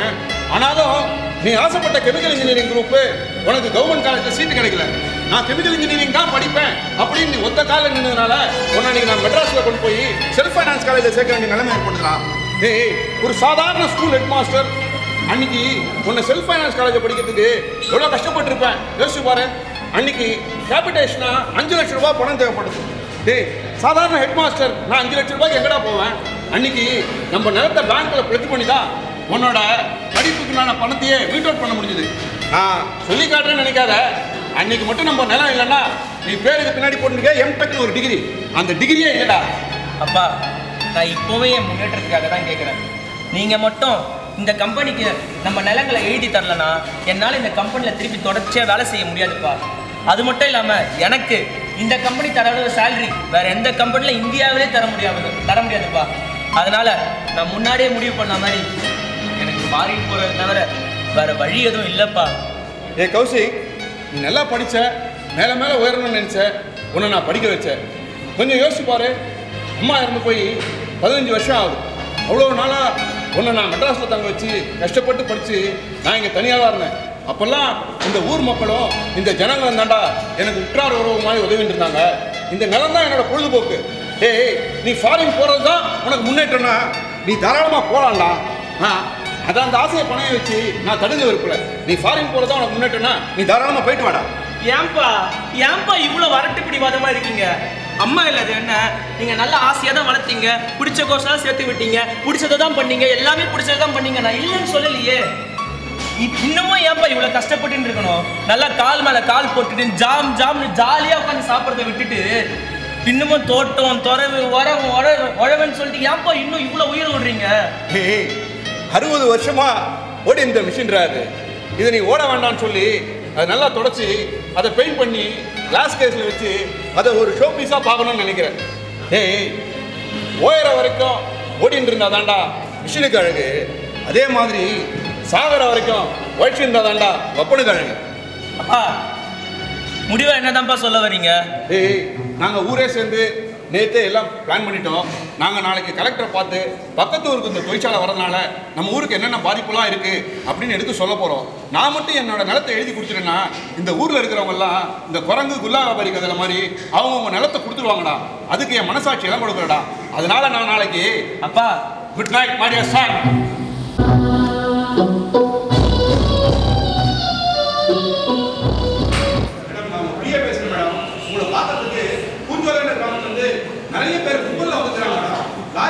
வந்துருக்காங்க நான் அதை எவ்வளவு சொல்லி பார்த்தேன்? கேட்க மாட்டாங்க. கேட்டாக்க உங்களை பார்க்கறதுக்கு அப்பாயின்மெண்ட் இருக்குன்னு சொல்றாங்க அஹ், என்ன பண்ணுறதுன்னு தெரியல மேடம் ம், சரி. அவங்க ரெப்ரசன்டேட்டிவ்ஸ்னு யாராவது மூணு இல்லை நாலு பேர் இருப்பாங்க பாருங்க அவங்கள மட்டும் உள்ள அனுப்புங்க. புரியுதுங்களா? ஓகே மேடம்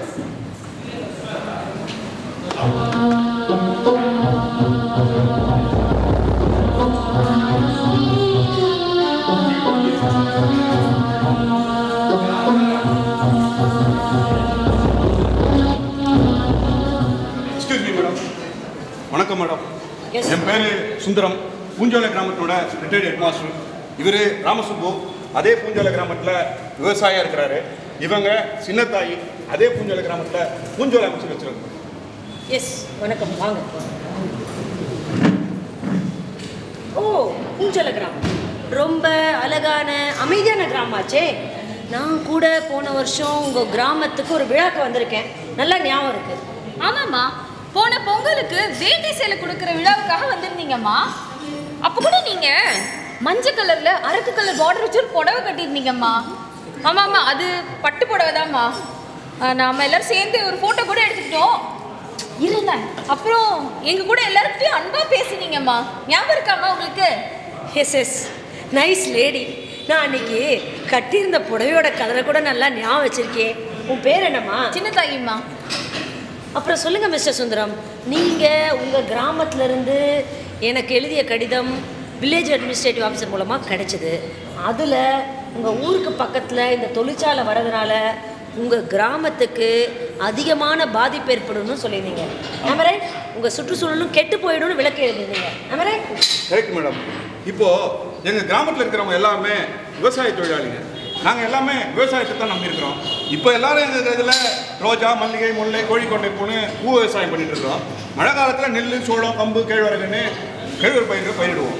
இப்போ பக்கத்து ஊரான இந்த ஏரிக்காடுக்கு இந்த ஆக்சிஜன் தொழிற்சாலை வரதுனால எங்கள் ஊர் சுற்றுச்சூழலாம் ரொம்ப பாதிக்கப்படுது அதுலேருந்து வர்ற காற்றுலேருந்து வர்ற கழிவுகளால் எங்கள் தோட்டத்து பூக்கள்லாம் வாடி வதங்கி போயிடும் அப்படின்னு நாங்கள்லாம் ரொம்ப பயப்படுறோம். அதோட மட்டும் இல்லாமல் நடுவில் இருக்கிற தரிசன காடுகளில் இருக்கிற மரங்களும் அழிஞ்சு போயிடும். அதனால நம்ம சுற்றுச்சூழல் பாதிக்கப்படும் பயப்படுறோம். அதனால தான் உங்களை பார்த்து அப்பாயின்மெண்ட் கேட்டு உங்ககிட்ட எங்கள் தரப்பு வாதத்தை எடுத்து சொல்லணும் தான். ரொம்ப நன்றி மேடம் எங்களை பார்க்கறதுக்கு உடனடியாக அப்பாயின்மெண்ட் கொடுத்தீங்க. ஓகே புரியுது. ஏரிக்காட்டில் இந்த தொழிற்சாலை தொடங்குறதுக்கு முறையான அனுமதியை கேட்டிருந்தாங்க. நாங்களும் அந்த கிராமத்து மக்கள்கிட்ட முறையாக நடத்த வேண்டிய விசாரணைகள்லாம் நடத்தின பிறகு தான் இந்த தொழிற்சாலை தொடங்குறதுக்கு தற்காலிகமான அனுமதியை கொடுத்துருக்கோம். இந்த தொழிற்சாலை வரதுனால அந்த ஊர் மக்களுக்கு எந்தவித பாதிப்போ பிரச்சனையோ இல்லைன்னு அவங்கள்ட்ட கேட்டு தெரிஞ்சிட்ட பிறகு தான் நான் இந்த தொழிற்சாலைக்கு தற்காலிகமாக அனுமதி கொடுத்துருக்கேன். உங்களுக்கு புரியுதுங்களா? அம்மா முக்க பேசுறதுக்கு மன்னிக்கணுமா அம்மா அந்த ஏரிக்காடு கிராமம் ஒரு வறண்ட பூமிமா. அங்க தண்ணி வசதியே கிடையாது. விவசாயத்துக்கு அவங்க நிலம்லாம் பயன்படவே இல்லை. அது மட்டும் இல்லம்மா முந்நூறு அடி ஆழம் தோண்டி போர் போட்டாலும் ஒரு சொட்டு தண்ணி கிடைக்காதுமா அவங்க நிலம் விவசாயத்துக்கு பயன்படலை. அதனால அந்த ஊர் ஜனங்கள்லாம் அந்த தொழிற்சாலை வர்றத வரவேற்கிறாங்க. அது மட்டும் இல்லாமல் அந்த தொழிற்சாலைக்காரங்களுக்கு அவங்க நிலத்தை கொடுத்துட்டாங்கன்னா மண்ணின் மைந்தர்கள் அப்படிங்கிற அடிப்படையில் அந்த தொழிற்சாலையில் அவங்களுக்கு வேலையும் கிடைச்சிருமா அது மட்டும் இல்லாமா அந்த தொழிற்சாலைக்காரவங்க அவங்களுடைய விளைநிலத்துக்கெல்லாம் அதிகமாக விலை கொடுக்கறதுனால அவங்க எல்லாரும் அவங்களுக்கு நிலத்தை வித்துட்டாங்கம்மா. மொத்தத்தில் பார்த்தோம்னா இந்த தொழிற்சாலை தொடங்குறதுனால அந்த ஊருக்கு எந்த விதமான பாதிப்பும் இல்லை. ஆனால் எல்லா விதத்திலும் அவங்களுக்கு நன்மைதாங்கிறது உறுதியாயிடுச்சுமா அம்மா எங்கள் குடும்பம் மொத்தத்துக்கும் இந்த விவசாயத்தை விட்டால் எங்களுக்குன்னு வேறு எந்த தொழிலும் செய்ய தெரியாதும்மா. எங்களுக்கு விவசாயம் மட்டும்தாம்மா ஒரே தொழில். பக்கத்து ஊர்ல தொழிற்சாலை வந்ததுன்னா தொழிற்சாலையிலேருந்து வரக்கூடிய சூடு காத்துனால எங்க வயல்ல இருக்க எல்லா பூவும் வாடி வதங்கி போயிடுமா. அப்புறம் எங்களுக்கு வியாபாரம் செய்யறதுக்கு வேற வழியே கிடையாதும்மா. அப்புறம் எப்படிம்மா நாங்கெல்லாம் பிழைக்கிறது? அம்மா இன்னொரு முக்கியமான விஷயமா நாங்க எங்க நிலத்தையெல்லாம் காப்பாத்திக்கணும் அப்படிங்கிறதுக்காக சுயநலமா பேசுறதா நீங்க நினைக்க வேண்டாமா அம்மா அந்த தொழிற்சாலை ஏரிக்காட்டு கிராமத்துக்கு வந்தா பூஞ்சோல கிராமத்துக்கும் ஏரிக்காட்டு கிராமத்துக்கும் இடையில இருக்கிற அரசு தரிசன காடுகள்ல இருக்கக்கூடிய மரங்கள் அம்மா ஒவ்வொரு மரமும் நூறு வருஷம் இரநூறு வருஷம் பழமை வாய்ந்த மூலிகை மரங்கள்மா அந்த மரங்கள் அழியதோட மட்டும் இல்லம்மா. இந்த தொழிற்சாலை வந்தா அந்த அரசு தரிசன காடுகளே மொத்தமா அழிஞ்சு போயிரும்மா. அம்மா அந்த காடுகள் இருக்கிற மரங்களால தாம்மா எங்க பூஞ்சோல கிராமம் இத்தனை காலமா செழிப்பா இருக்குதுமா ராமசுப்பு சொல்றது நூற்றுக்கு நூறு உண்மை மேடம். இப்போ நாமெல்லாம் படித்தவங்க நாம் நினைச்சா என்னைக்கு வேணா எந்த நேரத்திலையும் எப்படியாப்பட்ட ஒரு தொழிற்சாலையும் உடனடியாக நம்மளால் தொடங்கிட முடியும். ஆனால் வனப்பகுதிகள் இப்படி இல்லையே. எத்தனையோ நூறு இரநூறு வருஷமாக வாழ்ந்த இந்த மரங்களை திடீர்னு நினைச்ச உடனேயும் நினைச்ச இடத்துல ஒரு வேளை நம்மளால் உருவாக்க முடியுமா? கொஞ்சம் யோசிச்சு பாருங்க. சரி மிஸ்டர் சுந்தரம். இந்த விஷயத்தில் என்னால் எவ்வளோ உதவி செய்ய முடியுமோ அவ்வளோ உதவியும் இந்த கிராமத்துக்காக நான் செய்ய தயாரா இருக்கேன். நீங்கெல்லாம் சொல்றத வச்சு பார்க்கும்போது எனக்கே இந்த தொழிற்சாலை ஏரிக்காட்டில் வரதுனால உங்க கிராமத்தோட சுற்றுச்சூழலுக்கு அதிகமான பாதிப்பு ஏற்படும் தான் தோணுது. சரி உண்மைம்மா. உங்கள்ட்டெல்லாம் அப்ஜெக்ஷன் இருக்குங்கிற விஷயமே எனக்கு இப்போ தானே தெரிய வந்திருக்கு. அதனால நானே உங்க ஊருக்கு நாளைக்கு நேரில் வந்து பார்க்குறேன். ஆமாம்மா. அம்மா ரொம்ப சந்தோஷமா இருக்குதும்மா. அஹ், நீங்க எங்களை பார்க்க மாட்டீங்க. எங்களெல்லாம் திருப்பி அனுப்பிடுவீங்க. அப்படி திருப்பி அனுப்பிட்டா நாங்க வந்து சாலை மறியல் போராட்டம் ரயில் மறியல் போராட்டம் அப்புறம் அந்த போராட்டம் இந்த போராட்டம் ஏதாவது செஞ்சு உங்க கவனத்தை எங்க பக்கம் திருப்பணும்னு லாரி வச்சுலாம் ஆளுங்களை கூட்டியாத்தோம்மா ஆனா நீங்க என்னடான்னா எங்க கிட்ட அன்பா பேசி ஆதரவா எங்க விண்ணப்பத்தெல்லாம் வாங்கிக்கிட்டு ரொம்ப அன்பா நடத்துறீங்கம்மா. மெய்யாலுமே சொல்றோம்மா. உங்களுக்கு தங்கமான மனசுமா நானும் உங்களை மாதிரி ஒரு மனுஷி தானேப்பா. எனக்கும் ஆசை பாசம் கோவம் எல்லாம் உண்டுப்பா. நான் என்ன ஒரு அரசு அதிகாரி எனக்கு என்ன ரெண்டு கொம்பா முளைச்சிருக்கு? சொல்லுங்க பார்க்கலாம். ஒரு உண்மையான அரசு அதிகாரினா அவர் தன்னுடைய அதிகாரத்தை முழுமையாக மக்கள்கிட்ட பயன்படுத்தல தான்ப்பா இருக்குது. அதில் தான் அந்த அரசு அதிகாரியோடைய வெற்றியும் அமைஞ்சிருக்கு. புரியுதுங்களா? கரெக்டுமா எல்லாத்தோட ஒரு முக்கியமான விஷயம்ப்பா. சொல்லுங்க. அந்த தொழிற்சாலை தொடங்குறதுக்கான அடிக்கல் நாட்டு விழா. அடுத்த வாரம் நடக்கும் போது தெரியுதுமா. அந்த அடிக்கல் நாட்டு விழா நடத்தாம எப்படியாவது தடுக்கணுமா? அது உங்களால மட்டும்தாம்மா முடியும். Okay. ஆமாமா அப்படி உங்களையும் மீறி அந்த அடிக்கல் நாட்டு விழா நடந்துச்சுன்னு வச்சுக்கோங்க. நாங்க எங்க கிராமமே ஒண்ணா சேர்ந்து போராட்டம் அது இதுன்னு ஏதாவது கண்டிப்பா செய்வோம் அது மட்டும் இல்லம்மா அந்த ஏரிக்காடு கிராமத்துக்கு? அந்த தொழிற்சாலை வர்றதுனால எங்க கிராமத்து மக்களுக்கு எதிர்ப்பு இருக்குன்னு இந்த உலகத்துக்கு காட்டுறதுக்கு போராட்டம் ஒண்ணுதாம்மா வழி. போராட்டம் ஒண்ணுதாம்மா வழி. அவசரப்படாதீங்க நான் அமைச்சர்கிட்ட பேசுகிறேன் அடிக்கல் நாட்டு விழாவை தள்ளி வைக்க என்னாலான எல்லா முயற்சிகளையும் செய்கிறேன் சரிம்மா. பூஞ்சோல கிராமத்துக்கு இந்த தொழிற்சாலை வரதுல உடன்பாடு இல்லைன்னு உடனடியாக நான் மேலிடத்துக்கு தெரிவிக்கிறேன். பூஞ்சோல கிராமத்து மக்கள் எல்லாம் எனக்கு ஒரு உத்தரவாதம் கொடுக்கணும். என்னன்னா பூஞ்சோல கிராமத்து மக்கள் எந்தவித போராட்டத்திலையும் வன்முறையிலையும் ஈடுபட மாட்டீங்கன்னு உத்தரவாதம் கொடுக்கணும். முதல்ல இந்த மாதிரி விஷயங்கள் எல்லாம் போராட்டத்தில் தான் ஆரம்பிக்கும். பின்னாடி அது கொண்டு போய் வன்முறையில் விட்டுடும். இதுக்கெல்லாம் யார் பொறுப்பேற்றுக்க முடியும் சொல்லுங்க? அதனால பொறுமையாக இருந்து தான் இந்த மாதிரி விஷயங்களை நம்ம கையாளணும். உணர்ச்சி வசப்படக்கூடாது நீங்கள்லாம் பண்ணுற மாதிரி. புரியுதா? முதல்ல கதவை தட்டி பார்ப்போம். கதவு திறக்கும்னு நம்புவோம். அதுக்கு முன்னாடியே கதவு திறக்காதுன்னு நினச்சி கதவை உடைக்க நினைச்சா அதோட விளைவுகள்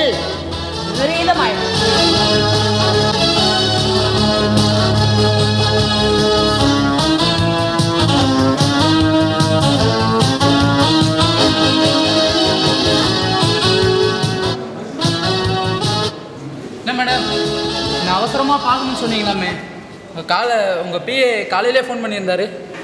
ஆமாம் எம்எல்ஏ சார் அந்த ஏரிக்காட்டில் தொழிற்சாலை தொடங்க இருக்காங்களே அதனால் அந்த பக்கத்து ஊரான பூஞ்சோல கிராமத்துக்கு நீங்கள் ஒரு முறையாவது போனீங்களா? அங்கே இருக்க மக்கள்கிட்ட பேசி அவங்களோட கருத்துக்களை கேட்டக்கூடாதா மேடம் ரெண்டு நாளைக்கு முன்னாடி தான் அந்த ஊரில் ஒரு பெரிய கூட்டத்தை கூட்டி இந்த ஊருக்கு தொழிற்சாலை வருவதனால என்னென்ன நன்மைலாம் இருக்குன்னு சொல்லி ஒரு பெரிய விளக்கம் கூட்டமே போட்டனே.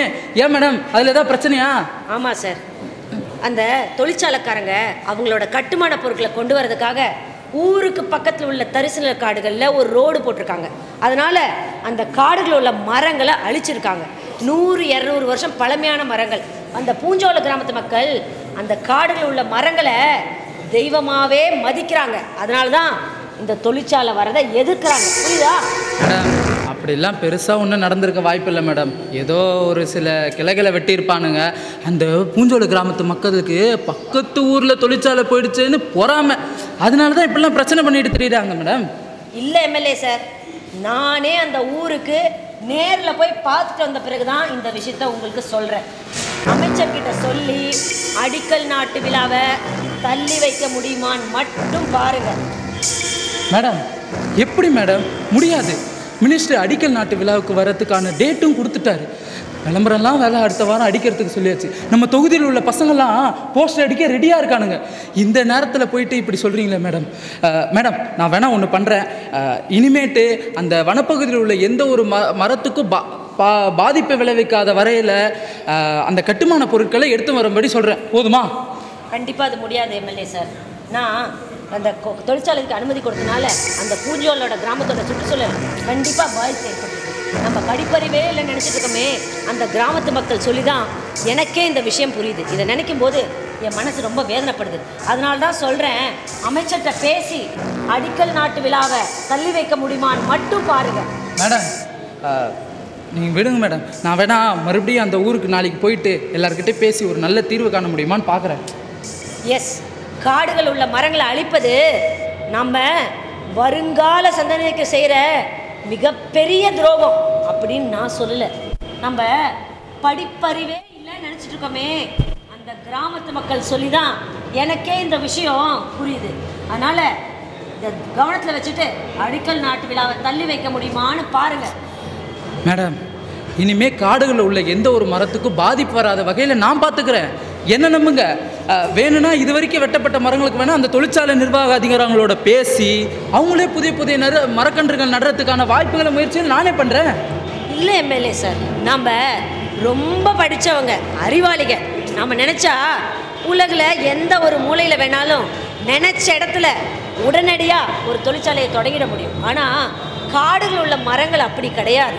அதோட இயற்கை தன்மை மாறாமல் நம்மளால நினைச்ச இடத்துல ஒரு மரத்தை உருவாக்க முடியுமா சொல்லுங்க? நூறு இரநூறு வருஷம் பழமையான மரங்களை அதோட இயற்கை தன்மை மாறாம நம்மளால கண்டிப்பா நினைச்ச இடத்துல உருவாக்கவே முடியாது. அதனால தான் சொல்றேன் அமைச்சர்கிட்ட போய் பேசி அடிக்கல் நாட்டு விழாவை தள்ளி வைக்க முடியுமாங்கிற ஒரே ஒரு விஷயத்த மட்டும் பேசிட்டு இங்க வாங்க. மேடம் முடியாது மேடம். முடியவே முடியாது. எல்லா ஏற்பாடுகளும் செஞ்ச இந்த நிலைமையில அடிக்கல் நாட்டு விழாவை தள்ளி போடுங்கன்னா என்னால் எப்படி மேடம் முடியும்? எனக்கு தெரியாது எம்எல்ஏ சார். பூஞ்சோல கிராமத்து மக்கள் என்னை பார்க்க வரும்போது ஊரே ஒன்று திரண்டு லாரி வச்சுக்கிட்டு வந்திருந்தாங்க. நான் தான் அவங்களுக்கு ஏத்தார் போல அனுசரணையாக பேசி அவங்கள ஊருக்கு அமுச்சு வச்சேன். நான் மட்டும் அப்படி செய்யாமல் இருந்திருந்தா அன்னைக்கே இந்த பிரச்சனை பெருசாகி போராட்டத்தில் கொண்டு போய் விட்டுருக்கோம். புரியுதா உங்களுக்கு? ரொம்ப தேங்க்ஸ் மேடம் உங்கள் தேங்க்ஸுக்காக இப்படி செய்யல எம்எல்ஏ சார். இப்படியாப்பட்ட சூழ்நிலையில் அடிக்கல் நாட்டு விழா நடந்துருச்சுன்னா மூஞ்சோல கிராமத்து மக்கள் கண்டிப்பாக அதை தடுக்கிறதுக்காக போராட்டத்தில் குதிப்பாங்க. பின்னாடி அது கலவரமாக மாறி பெரிய பிரச்சனையில் கொண்டு வந்து முடியும். லா அண்ட் ஆர்டர் பிரச்சனையும் வந்துடும் அதுக்காக தான் சொல்கிறேன் தயவு செய்து நீங்கள் அந்த அமைச்சர்கிட்ட போய் பேசி அடிக்கல் நாட்டு விழாவை தள்ளி வைக்க முடியுமாங்கிற ஒரே ஒரு விதத்தை மட்டும் தான் நீங்கள் பேசிட்டு வாங்க. ஓ இப்போ தான் புரியுது. மேடம் அந்த பூஞ்சோல கிராமத்தில் உள்ள மக்கள்லாம் பார்த்து பயந்துட்டீங்களா? அவனுங்க சும்மா வெத்து பயலுங்க ஒரு காக்கா கூட்டம் மாதிரி மொத்தமாக வருவானுங்க. ஒரு கல்லை தூக்கி போட்டால் போதும். மொத்த கும்பலும் காணாமல் போயிடும். அவனுங்களை பற்றி நீங்கள் கவலாட நீங்கள் கவலைப்படாதீங்க மேடம். அதை நான் பார்த்துக்கிறேன் சார் அவ்வளோ குறைவாக அந்த கிராமத்து மக்களை எடை போட்டுறாதீங்க சார். அவர் ஒன்று அவங்கெல்லாம் ஒன்றும் உங்கள் கட்சி மீட்டிங்க்கு வர மாதிரி வீணாக லாரி வச்சுக்கிட்டு வந்த கூட்டம் இல்லை சார். ஒரு லட்சியத்துக்காக தானே முன் வந்து ஒன்று சேர்ந்த கூட்டம் சார் இதை நீங்கள் கவனத்தில் வச்சுக்கிட்டிங்கன்னா உங்களுக்கு ரொம்ப நல்லது எம்எல்ஏ சார் முடியாது முடியாது முடியவே முடியாது. என்னால் அடிக்கல் நாட்டு விழாவை ஒத்தி போடுறத கனவுல கூட நினச்சி பார்க்க முடியாது. இது என் கௌரவ பிரச்சனை.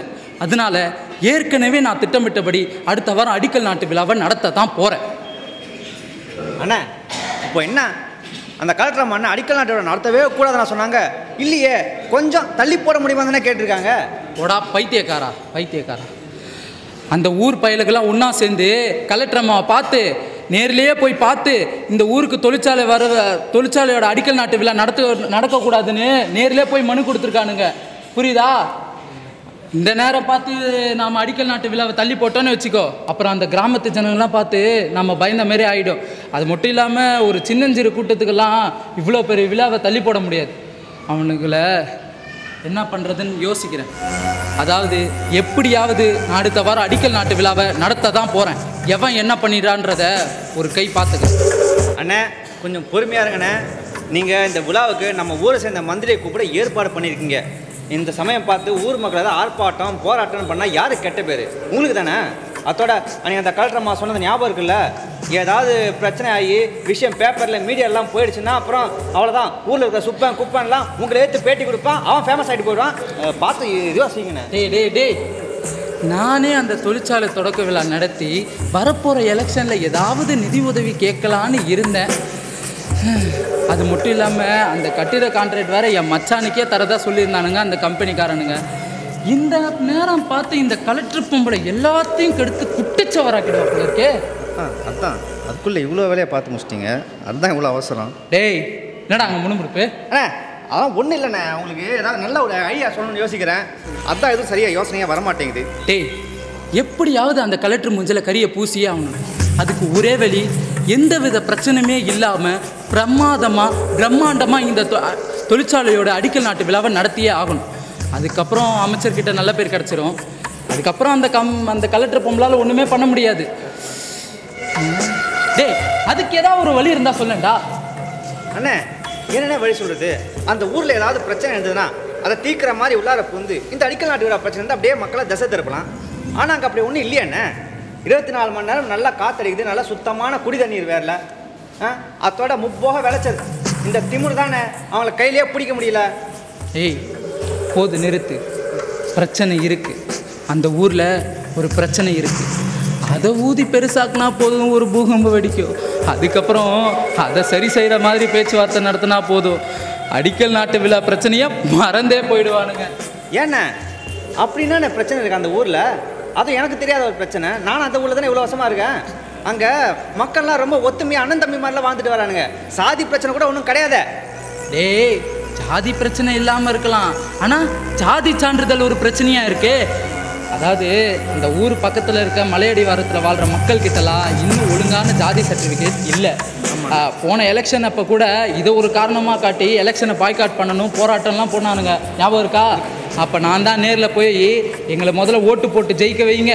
ஜெயிச்சு வந்து உங்களுக்கு எல்லா சலுகையும் செஞ்சு தரேன்னு வாக்குறுதி கொடுத்தேன். ஞாபகம் இருக்கா? ஞாபகம் இருக்குண்ணே.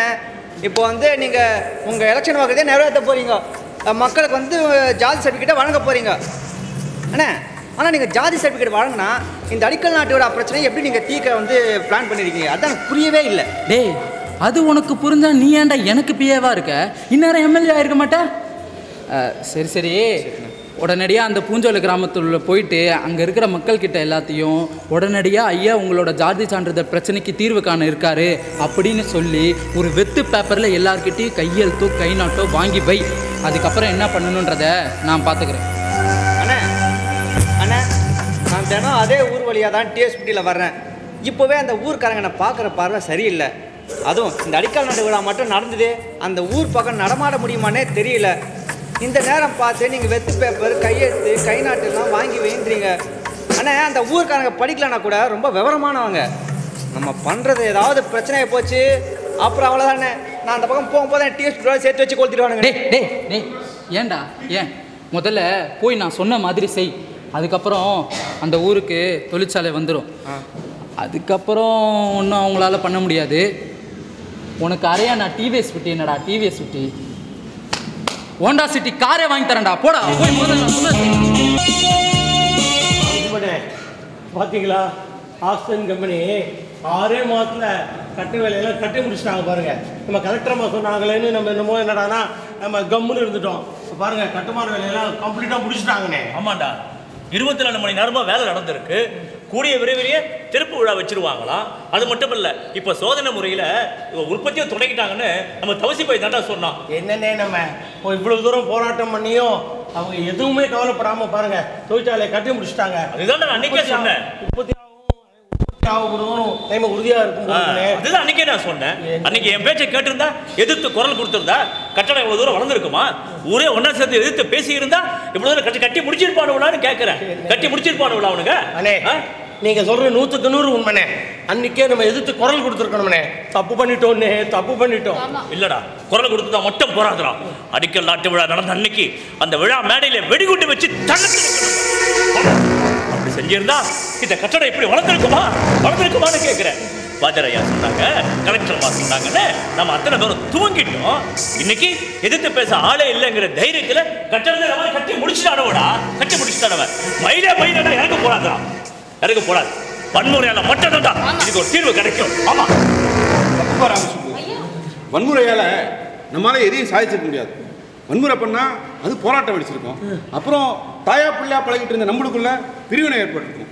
அப்புறம் ஊரே ரத்த கலவையா இருக்கும். இவ்வளவு நாளா தாயா பிள்ளையா பழகி நமக்குள்ள பிரிவினை வந்தா ஊரே பிரச்சனை ஆயிடுப்பா அதனால எத்தனையோ உயிரினும் போகும்.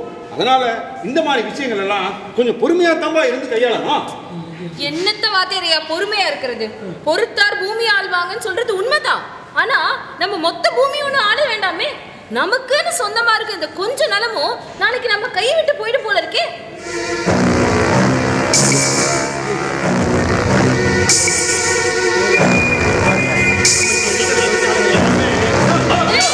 யார் நீங்க?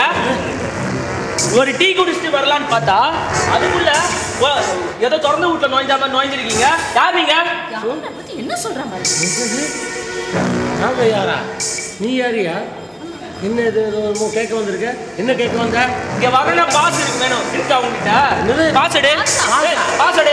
யார்கிட்ட பாச யாருகிட்ட கேக்குற பாச கேட்குறேன் இது நாங்கள் பிறந்து வளர்ந்து பிறந்த பூமியா? இது யார் தெரியுமா?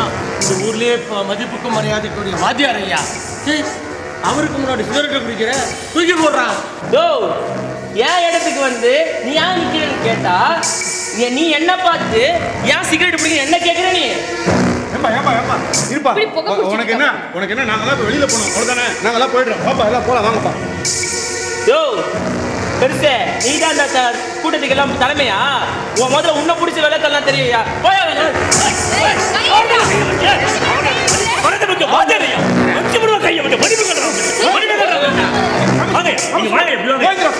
அமைதியா இருங்கப்பா. அமைதியா இருங்கப்பா. அவன் ஒரு சாதாரண செக்யூரிட்டி கார்டு அவனுக்கு எவ்வளவு பங்கு இருக்குமோ அதுக்கேற்ற மாதிரி தான் அவன் நடந்துக்குவான். அவன் கூட போய் சரிசமா போட்டி போட்டு நம்ம கூட போராட்டம் பண்ண முடியுமா? விடுப்பா நாங்கெல்லாம் வெளியில போயிடுறோம். அவ்வளவுதானே உனக்கு போனோம் நாங்க போயிடுறோம்ப்பா. என்னது? யோ கிழவா. சாதாரண செக்யூரிட்டி கார்டா என்ன இலக்காரமா போச்சா உனக்கு செக்யூரிட்டி கார்டா இருக்கிறதுக்கு?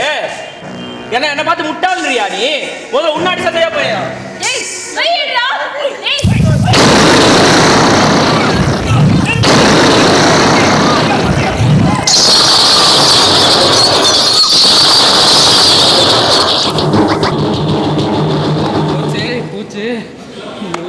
தொழிற்சாலை போச்சு யோ இங்க வாயா.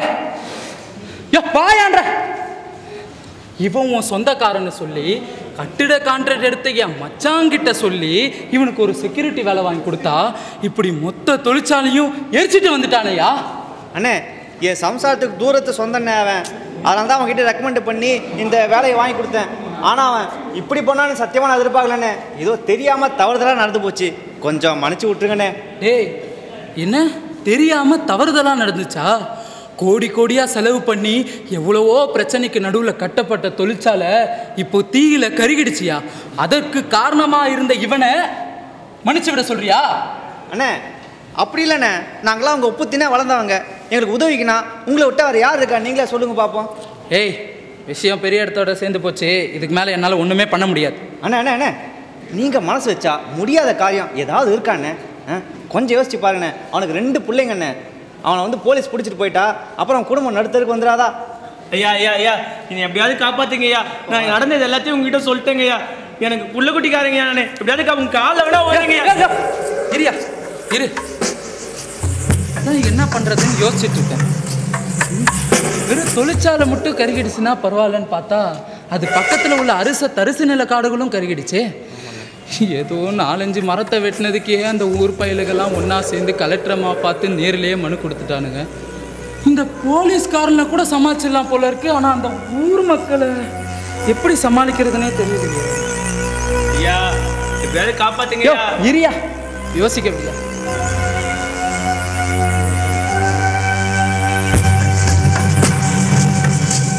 அண்ணே ஒன்றும் இல்லைண்ணே.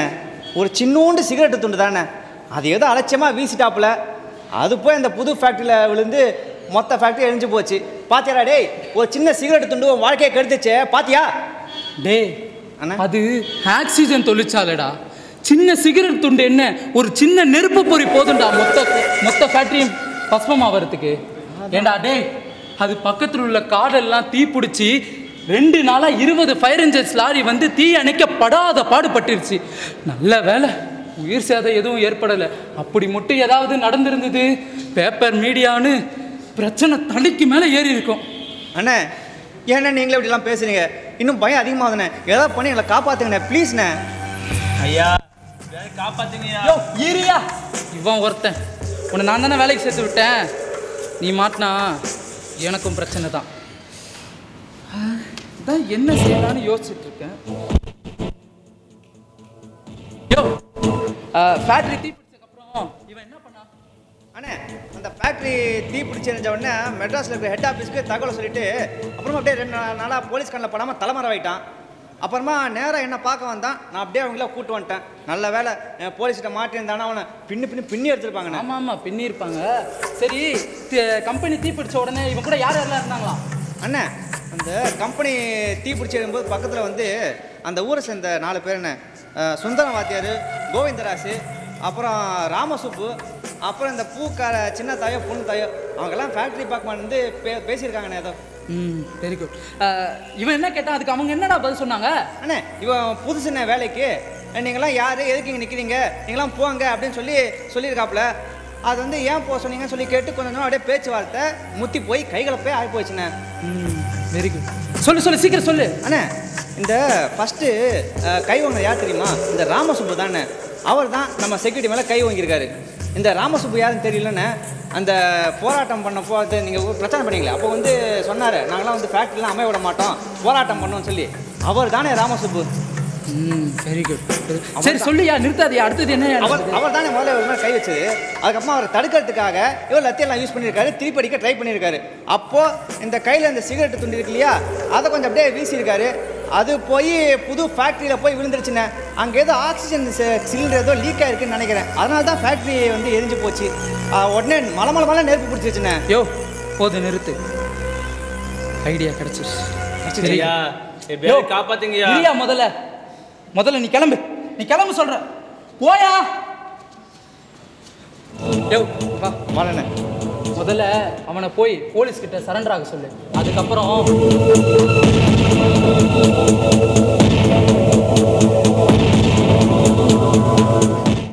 புரியுதா? புரியுதுண்ணே. அந்த மாதிரி நான் சொன்ன மாதிரி போலீஸ் கிட்ட போய் ஸ்டேட்மெண்ட் கொடுக்க சொல்லு. சேவல்பட்டி கிராமத்தில் இருக்கிற ஒரு ஏதாவது ஒரு நல்ல மருத்துவமனையாக பார்த்து இவனை பத்து நாள் அட்மிட் பண்ணுற மாதிரி கை கால்லாம் பட் கட்டு போட்டு வை. இந்த விஷயத்தை பற்றி யாருக்கிட்டையும் எதுவும் வாயை திறக்கக்கூடாது போலீஸ்காரங்க கேட்டால் மட்டும் நான் சொன்ன மாதிரியே ஸ்டேட்மெண்ட் கொடுக்க சொல்லு. புரியுதா? சரிண்ணே நீங்கள் சொன்ன மாதிரியே அவன் வந்து வாயை மட்டும் சாப்பிட்றதுக்காக அவன் திறக்க விட்டு மற்ற இடம் ஃபுல்லாக கட்டு போட சொல்லிடுறேண்ணே. ஓகேவாண்ணே அது சரி. சரி அதுக்கப்புறம் இந்த பூஞ்சோலை கிராமத்தில் உள்ள மக்கள்கிட்டலாம் வித்து பேப்பரில் கையெழுத்து வாங்கி வைக்க சொன்னனே.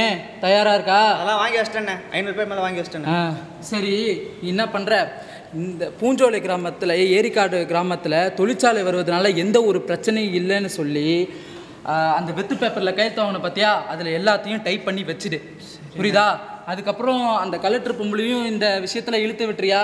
நான் என்ன பண்ணுறேன்னா இந்த கலெக்டர் பொம்பளை தான் பூஞ்சோலை கிராமத்தில் உள்ள மக்கள் எல்லாரையும் போராட்டத்துக்கும் பிரச்சாரத்துக்கும் தூண்டி விட்டான்னு சொல்லி அவளை இந்த ஊரை விட்டே மாற்றுறதுக்கான வேலையை நான் பார்த்துக்கிறேன் ஒரு கல்லில் ரெண்டு மாங்காய்.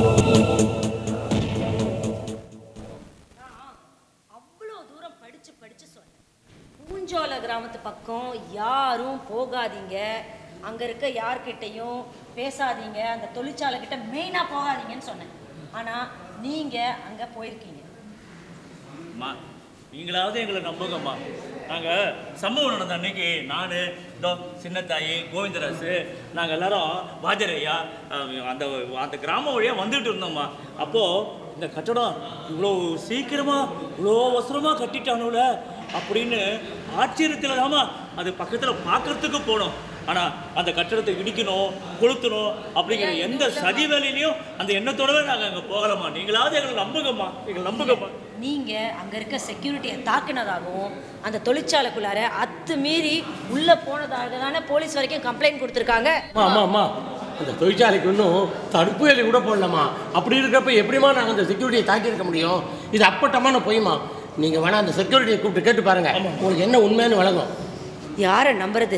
என்ன செய்யறது இந்த விஷயத்தில் ஒன்றும் புரிய மாட்டேங்குது. அம்மா இன்னொன்று பாருங்கம்மா. நாங்களே இந்த தொழிற்சாலையை கொளுத்தணும்னு ஒரு சதித்திட்டம் போடுறோன்னு ஒரு பேச்சுக்கு வச்சுட்டாலும் நாங்கள் ஏம்மா இப்படி வயசான பெரிய வாத்தியாரையை கூட்டிகிட்டு போனோம். நாலு இளவட்டங்களை கூட்டிகிட்டு போயிருப்போம் இல்லையாம்மா? சரி சரி. உங்கள் கள்ளங்கப்படம் இல்லாத பேச்சும் சுந்தரவாத்தியாரில் மேலே வச்சிருக்க அபாரமான நம்பிக்கையும் தான் நீங்கள்லாம் எந்த தப்பும் செஞ்சிருக்க மாட்டேன்னு என் மனசுக்கு தோணுது. அதனால தான் உங்களெல்லாம் நான் லாயரை வச்சு இப்போ பெயில் எடுத்திருக்கேன். புரியுதா? அம்மா இதுக்கெல்லாம் காரணம் யார் தெரியுமாம்மா? எங்க ஊர் எம்எல்ஏ தாம்மா. அந்த தான் அன்னைக்கு எங்க ஊருக்கு வந்து கூட்டம் போட்டப்போ எங்க ஊர் ஜனங்களுடைய நிலத்தெல்லாம் கேட்டார். ஆனா நான் தான் அந்த நிலத்தெல்லாம் கொடுக்கறதுக்கு தடையா இருந்தேன்னு சொல்லி அந்த ஆள் தான் என் மேல கோபமாகறான். அந்த ஆள் தான் இந்த செக்யூரிட்டி மூலமா என்னை போலீஸ்ல கம்ப்ளைண்ட் கொடுக்க வச்சு எங்க எல்லாரும் ஜெயில தள்ளிட்டாமா ஆனா நாங்கெல்லாம் ஜெயில இருந்ததை பத்தி எங்களுக்கு ஒரு வருத்தமும் இல்லைம்மா. ஒரு பாவமும் அறியாத வாத்தியாரையாவும் எங்க கூடவே போலீஸ் ஜெயிலில் இருந்தாரு. அதை நினைச்சாதாம்மா மனசுக்கு ரொம்ப கஷ்டமா இருக்கு. மா இந்த எம்எல்ஏ ஊருக்குள்ள வந்தாலே பிரச்சனை தாம்மா பண்ணுவா. பண்ணிக்கிட்டே இருப்பாமா அது மட்டும் இல்லை நான் தான் உங்களெல்லாம் தூண்டி விட்டதாகவும் இந்த தொழிற்சாலை வரதுக்கு வரக்கூடாதுன்னு உங்களை ஏவி விட்டதாகவும் என்னை பற்றி அமைச்சர் வரைக்கும் புகார் கொடுத்துருக்காரு உங்கள் எம்எல்ஏ சார். அதனால் எனக்கு எந்நேரம் வேணாலும் மாற்றல் உத்தரவு வரலாம். அம்மா ஒரு தவறு செய்யாத உங்க மேலே பழி போட்டுனால அந்த எம்எல்ஏ? நீங்க வேணா பாருங்கம்மா. அவனுக்குலாம் நல்ல வாழ்க்கையா இருக்காதுமா. இந்த எலெக்ஷன் அம்போன்னு போறான் பாருங்களேன். அவனுக்கு சாபம் கொடுத்து நமக்கு என்ன ஆக போகுது? எனக்கு என்ன மனசுக்கு வருத்தம்னா நான் வெளி மாநிலங்களில் வேலை செய்யும் போதெல்லாம் எனக்கு எந்த ஒரு கெட்ட பேரும் வந்ததில்லை. பட் என் சொந்த ஊரில் இப்படி ஒரு நிலைமைக்கு ஆளாயிட்டேன்னு நினைக்கும் போது தான் மனசு ரொம்ப வேதனைப்படுது.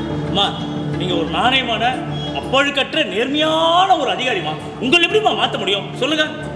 சில நேரங்களில் நம்ம நேர்மையாக இருக்கிறது கூட நாலு பேருக்கு கஷ்டத்தை கொடுக்கலாம். அதுவே நம்மளை மாத்துறதுக்கு ஒரு காரணமாக கூட அமைஞ்சிடலாம். அம்மா உங்களுக்கு மாற்றல் உத்தரவு அப்படி இப்படின்னு ஏதாவது வந்துச்சுன்னா இந்த ஊரே ஒன்று கூடி போராடுவோமா போராடுவோம். உங்கள் மாற்றல் உத்தரவு வாபஸ் வாங்குற வரைக்கும் நாங்கள் எல்லாம் சேர்ந்து உண்ணாவிரதம் இருந்து போராடுவோமா அப்படி ஐயா அடிக்கடி சொல்லுவாருமா இந்த ஊரையே காப்பாத்த வந்த தெய்வம் நீங்க தான் இப்ப நீங்களே வேற ஊருக்கு மாத்தல போயிட்டீங்கன்னா அப்புறம் அந்த கரும்பு பிடிச்ச அந்த எம்எல்ஏ இருக்கான்ல அவனையும் அவன் ஆளுங்களையும் எப்படிமா நாங்க சமாளிக்கிறது? அப்புறம் இந்த ஊரு அழியறதாமா ஒரே வழி. ஆனா அப்படி ஒரு நிலைமை ஏற்பட்டுச்சுன்னா நாங்க எல்லாரும் தற்கொலை தாமா பண்ணிப்போம். அவசரப்படாதீங்க. அப்படி நடக்க நான் விடமாட்டேன். எஸ் எனக்கு ஒரு வேளை மாற்றல் ஒருத்தர் வந்ததுன்னா அதை நான் ஏற்றுக்க போல ஏற்றுக்க போகிறது இல்லை. என்னுடைய கலெக்டர் பதவியை வாலண்டரியாக ராஜினாமா செஞ்சலான்னு முடிவெடுத்திருக்கேன். என்னம்மா சொல்றீங்க? புரியலம்மா. சின்னத்தாயி தெரிஞ்சோ தெரியாமலோ உங்கள் ஊருக்கு பக்கத்தில் தொழிற்சாலை வர நானும் ஒரு காரணமாயிட்டேன். ஒருவேளை நான் அன்னைக்கே இந்த எல்லாத்தையும் கேட்டு தெரிஞ்சுட்டு இந்த தொழிற்சாலைக்கு அனுமதி கொடுத்துருந்தா உங்கள் ஊரையும் உங்கள் ஊருக்கு பக்கத்தில் உள்ள இந்த வனப்பகுதியும் என்னால் காப்பாற்றிருக்க முடியும். எஸ் தெரிஞ்சோ தெரியாமலோ இவைகள் அழிய நானும் ஒரு காரணமாயிட்டேன். இதை நினைக்கும் போது தான்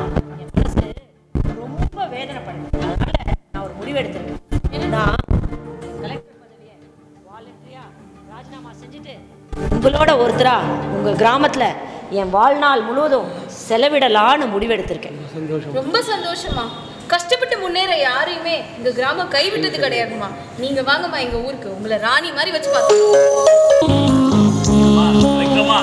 எப்பவுமே எங்க வாத்தியார் ஐயா உங்களை எப்போ ரொம்ப புகழ்ந்து பேசிட்டே இருப்பாருமா உங்களை பத்தி தான் இப்ப பேசிட்டு இருந்தோம்மா அம்மா நீங்க ஒண்டி ஆளா அந்த கோர்ட்ல நின்னு எப்படியெல்லாம் வாதாடி நாங்க யாரும் குற்றமே செய்யாதவங்கன்னு நிரபராதிகள் நிரூபிச்சு எங்களை எல்லாரையும் காப்பாத்துறீங்களே அதுக்கு உங்களுக்காக ஒரு கோடி புண்ணியம்மா. நீங்க புகழ்றது நான் எந்த தவறும் செய்யல. அதனால நான் உங்க கிராமத்துக்கு செஞ்ச தவறான செயலுக்கான பிராய்ச்சம் தான் இப்போ செஞ்சிருக்கேன். மேடம் நீங்க செஞ்சிருக்கிறது ஒரு சாதாரண செயலா மேடம்? இன்னும் முன்ன பின்ன தெரியாத எங்களுக்காக கோர்ட்டுக்கு வந்து லாயரே வைக்காம வாதாடி எங்களெல்லாம் நிரபராதி நிரூபிச்சு காமிச்சிங்க. எங்க சொந்த ஊரை சேர்ந்த எம்எல்ஏ எங்களெல்லாம் குற்றவாளிகளாக சித்தரிச்சு காமிச்சு எங்களை ஜெயிலில் போட்டாரு. ஆனா நீங்க முன்ன பின்ன தெரியாத இந்த நாலு பேருக்காக கோர்ட்டுக்கு வந்து வாதாடி எங்களை மரியாதைக்குரிய மனிதர்களாக நடமாட விட்டுருக்கீங்க. இது எப்படிமா ஒரு சாதாரண செயலா இருக்க முடியும்? அதெல்லாம் இருக்கட்டும். நான் என்னைக்கோ என் கலெக்டர் பதவியை ராஜினாமா செஞ்சுட்டேன். ஆனால் இன்னும் நீங்கள் என்ன கலெக்டர்மா கலெக்டர்மான்னு சொல்கிறது நல்லா இல்லை. இனிமேல் அப்படி கூப்பிடாதீங்க. அப்படி இல்லைம்மா. எங்கள் வாஜரையா கூட தான் வேலை பார்த்து எப்போவோ ஓய்வு பெற்றுட்டாரு ஆனால் இன்னமும் நாங்கள் அவரை வாஜரையா தான் கூப்பிட்றோம். அதனால் நீங்கள் கலெக்டர் பதவியிலேருந்து நீங்கள் வெளியில் வந்தாலும் ஓய்வு பெற்றாலும் எங்களுக்கு என்றைக்குமே நீங்கள் தான்மா கலெக்டர்மா அம்மா அந்த கோர்ட்டில் என்னம்மா வாதாடலீங்கம்மா நாங்கள் யாரும் குற்றம் செய்யல? அது குற்றம் செஞ்சது அந்த செக்யூரிட்டி தான். அப்படின்னு அவன் வாயாலே நீங்கள் சொல்ல வச்சுக்க பாருமா அந்த எதிர்கட்சி லாயர் எழுந்து எழுந்து எழுந்து எழுந்து ஏதோ கேட்க வராரு ஆனால் நீங்கள் சொல்கிற ஒவ்வொரு பாயிண்ட்லையும் அவர் அமைதியாக அமைதியாக உட்கார்ந்துட்டாருப்பா. என்ன அழகாக வாதாடுனீங்கம்மா. நீங்கள் என்றைக்குமே எங்களுக்கு கலெக்டர்மா தாம்மா சரி மிஸ்டர் சுந்தரம் உங்களை கோர்ட்டில் நிரபராதின்னு சொல்லிட்டாங்க. ஆனால் இன்னும் நீங்கள் சோகமாக இருக்கீங்க. எனக்கு தான் புரிய மாட்டேங்குது. என்ன ஆச்சு உங்களுக்கு? மேடம் கோர்ட் என்ன நிரபராதின்னு சொல்லலாம் இந்த ஊரும் என்னை குற்றமற்றவர் நம்பலாம் ஆனால் என் மனசுக்கு என்னமோ என் மனசாட்சிக்கு என்னமோ நான் ஏதோ ஒரு தப்பு செஞ்சிட்டேனே அப்படின்னு என் மனசு உறுத்திட்டே இருக்கு. என் ஒரே பையனான கௌசிக் என்னை விட்டு ஃபாரின் போனப்போ என்னை விட்டு இவன் ஃபாரின் போகிறானே அப்படின்னு நான் ரொம்ப மனசு கஷ்டப்பட்டு விடுது ஆனால் இந்த கம்பெனி தீப்பொட்டி எறிஞ்ச போது நல்ல வேலை பையன் அன்னைக்கு இந்த கம்பெனியில் இல்லை. இருந்திருந்தா அவனுக்கு ஏதாவது ஒன்று ஆயிருக்கும். அதனால அவன் ஃபாரின் போனதும் நல்லதுக்கு தான் அப்படின்னு நான் சந்தோஷப்பட்டதும். எங்கள் அப்பா சொல்லுவார் ஒரு மகன் நூறு மரங்களுக்கு சமம். அப்படின்னு. அப்படி பார்த்தா என்னுடைய ஒரே பையனை நான் இந்த தொழிற்சாலை காப்பாற்றிட்டேன் எத்தனையோ நூற்றுக்கணக்கான மரங்கள் நூறு இரநூறு வருஷம் வாழ்ந்த மரங்கள்லாம் பறி போகிறதுக்கு நானும் ஒரு காரணமாகத்தேனே என் மனசாட்சி ரொம்ப உறுத்துது அதனால கலெக்டர்மா நீங்கள் கலெக்டராக இருந்தப்போ சம்பிரதாயத்துக்காகவாது சில விஷயங்களில் போய் தலையிட்டு இது மாதிரி தொடங்கி வச்சுருப்பீங்க. ஆனால் நாளைக்கு நீங்கள் தொடங்க போகிற இந்த நிகழ்ச்சி நிச்சயமாக பூஞ்சோல கிராமத்துக்கு ஒரு வழிகாட்டி அமையமா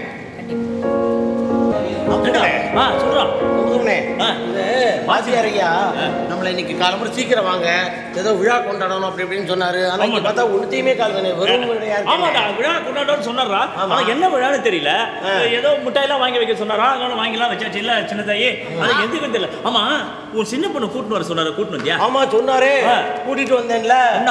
பாருங்க அங்க விளையாடிட்டு இருக்கு அங்க விளையாடிட்டு இருக்கா? பொண்ணு கூட ஏதோ சுதந்திர தினம் இருக்கும் இருக்குன்னு சொல்லி. ஏதோ மிட்டாயெல்லாம் கொடுப்பாங்களோன்னு சொல்லி ஆசையா என்ன. வச்சுக்கிட்டே இருந்துச்சு கொஞ்சம் இருமா அங்க போய் விளையாடுன்னு நான் சொல்லிட்டு இன்னைக்கு இல்லையே. இன்னைக்கு சுதந்திர தின விழா இல்ல குடியரசு தின விழா எதுவுமே கிடையாது. ஆமா. அப்படியே வாத்தியாரையா நிறைய மிட்டாய் எல்லாம் வாங்கி வைக்க சொல்லி உங்க பொண்ணைய வர சொல்லிருக்காங்க தெரியல. என்ன விழாவா இருக்கும்? நமக்கு கொடுக்கறதுக்கு இருக்குமா? ஆமா. இல்லம்மா. நமக்கு நான் கொடுக்கறதுக்கா பாருங்க. என்னடா? வாத்தியாரையா ஒரு முடிவோட தான் இருப்பாரு. என்ன முடிவு? நம்ம கலெக்டர் அம்மாவுக்கு ஒரு விழா கொண்டாடணும்னு ஏற்பாடு பண்ணியிருப்பாரு நினைக்கிறேன். அதுக்காக பொன்னாடை இல்ல சால்வை எல்லாம் போடணும்னு சொல்லிட்டு என் பொண்ணையும் வர சொல்லியிருக்காரு நான் நினைக்கிறேன் இந்த ஊரையே காப்பாத்தின தெய்வம் கலெக்டர். கலெக்டர். அவங்களுக்கு இந்த மாதிரி ஒரு சின்ன விழா எடுத்து சால்வை போட்டு மைக்ல பேசி இப்படி எல்லாம் பண்ண மாட்டாங்க அது மட்டும் இல்லாம நம்ம வாத்தியாரையாக்கு இந்த மாதிரி அரசியல் கூட்ட மாதிரி. பண்றது பிடிக்காது. பிடிக்காது. அப்புறம் என்ன விழா எல்லாம் கொஞ்ச நேரம் காக்க வச்சுட்டேன் என்னை மன்னிக்கணும் கலெக்டர்மா வாங்க வாங்க இவ்வளவு நாளா நல்லமா சுதந்திரமா நல்லா போராடிட்டு இருக்கோம்னா. அது காரணமே நம்ம கலெக்டர்மா தான். அவங்கள நம்ம பாராட்டியே ஆகணும் ஆமா ஆமா என்ன புகழ்றத நிறுத்திட்டு வந்த விஷயத்த சொல்லுங்க சுந்தரம் சார். கண்டிப்பா சொல்றேன். இப்போ தொழிற்சாலை தீப்பெட்டி எரிஞ்சதுல நம்மளுடைய நிலங்கள்ல இருந்த மரக்கன்றுகள்லாம் நிறைய அழிஞ்சு போச்சு. அந்த மரங்கள்லாம் நம்ம மூதாதையர்கள் நம்மளை நம்பி விட்டுட்டு போன சொத்து. அதெல்லாம் நம்ம வருங்கால சந்ததியினர்கிட்ட பத்திரமா நம்ம ஒப்படைப்போம் அப்படின்னு நம்ம அவங்க எதிர்பார்த்து நம்ம கிட்ட கொடுத்தது. அதனால இனிமேல் நாமெல்லாம் நம்மளுடைய பிறந்தநாள் அன்னைக்கு நம்ம நம்ம ஊரில் ஏதாவது ஒரு இடத்துல ஒரு மரக்கன்று நட்டு பராமரிக்கிறத பிறந்த நாள் கருதணும் அப்படின்னு நான் ஆசைப்படுறேன். இப்போல்லாம் எல்லாரும் என்ன பண்ணுறாங்கன்னா பிறந்த நாள் அன்னைக்கு கேக் வெட்டியும் மெழுகுவத்தி அணைச்சும் கொண்டாடுறாங்க. அது எனக்கு என்னமோ கொஞ்சம் அவசரமாக தோணுது. அதனால் இனிமேல் நாமளும் நம்ம ஊர் குழந்தைகளோட பிறந்த நாள் அன்னைக்கு ஊர்ல ஏதாவது ஒரு இடத்துல மரக்கன்று நட்டு பராமரிக்கிறத பிறந்த நாள் கொண்டாட்டமா கருதணும் அப்படின்னு உங்க எல்லாரையும் நான் வேண்டி விரும்பி கேட்டுக்கிறேன். அது மட்டும் இல்ல நானும் சுந்தரம் சாரும் ஒரு முடிவு எடுத்திருக்கோம்? எங்களோட வாழ்நாள் முழு எங்க வாழ்நாள்ல கொடுத்த எங்களோட பென்ஷன் பணத்துல ஒரு பகுதியை இந்த கிராமத்தை சீரமைக்கிறதுக்காக எங்க வாழ்நாள் முழுவதும் செலவிடலான்னு முடிவெடுத்திருக்கோம் பூஞ்சோல கிராமத்து மக்கள் எல்லாரும் எனக்கு ஒரு உதவி செய்யணும். என்னன்னா சொல்லுங்க. உங்களுடைய உடலுழைப்பை இந்த திட்டத்துக்காக மாதந்தோறும் செலவிடணும். உங்களை எல்லாரையும் நான் தாழ்மையாக கேட்டுக்கிறேன். சுந்தராயன் பார்த்து என்னம்மா இப்படி சொல்லிட்டீங்க? எங்க நிலத்துல வேலை செஞ்ச நேரம் போக ஒரு நாளைக்கு ரெண்டு மணி நேரமாவது குறைஞ்சது ரெண்டு மணி நேரமாவது என்ன செஞ்சாயி நம்ம திட்டம் வெற்றி அடையதுக்காக நாங்க உடல் உழைப்பை கண்டிப்பா கொடுப்போம்மா. ரொம்ப நன்றி. நம்பிக்கை எனக்கு கண்டிப்பா இருக்குதுப்பா. ஆமா கோவிந்தராசு உன்னோட சின்ன குழந்தைய கூட்டிட்டு வர சொன்னேன். கூட்டிட்டு வந்தியா? கூட்டிட்டு வந்திருக்கேன்? கூட்டிட்டு சீக்கிரம் போய் கூட்டிட்டு வா,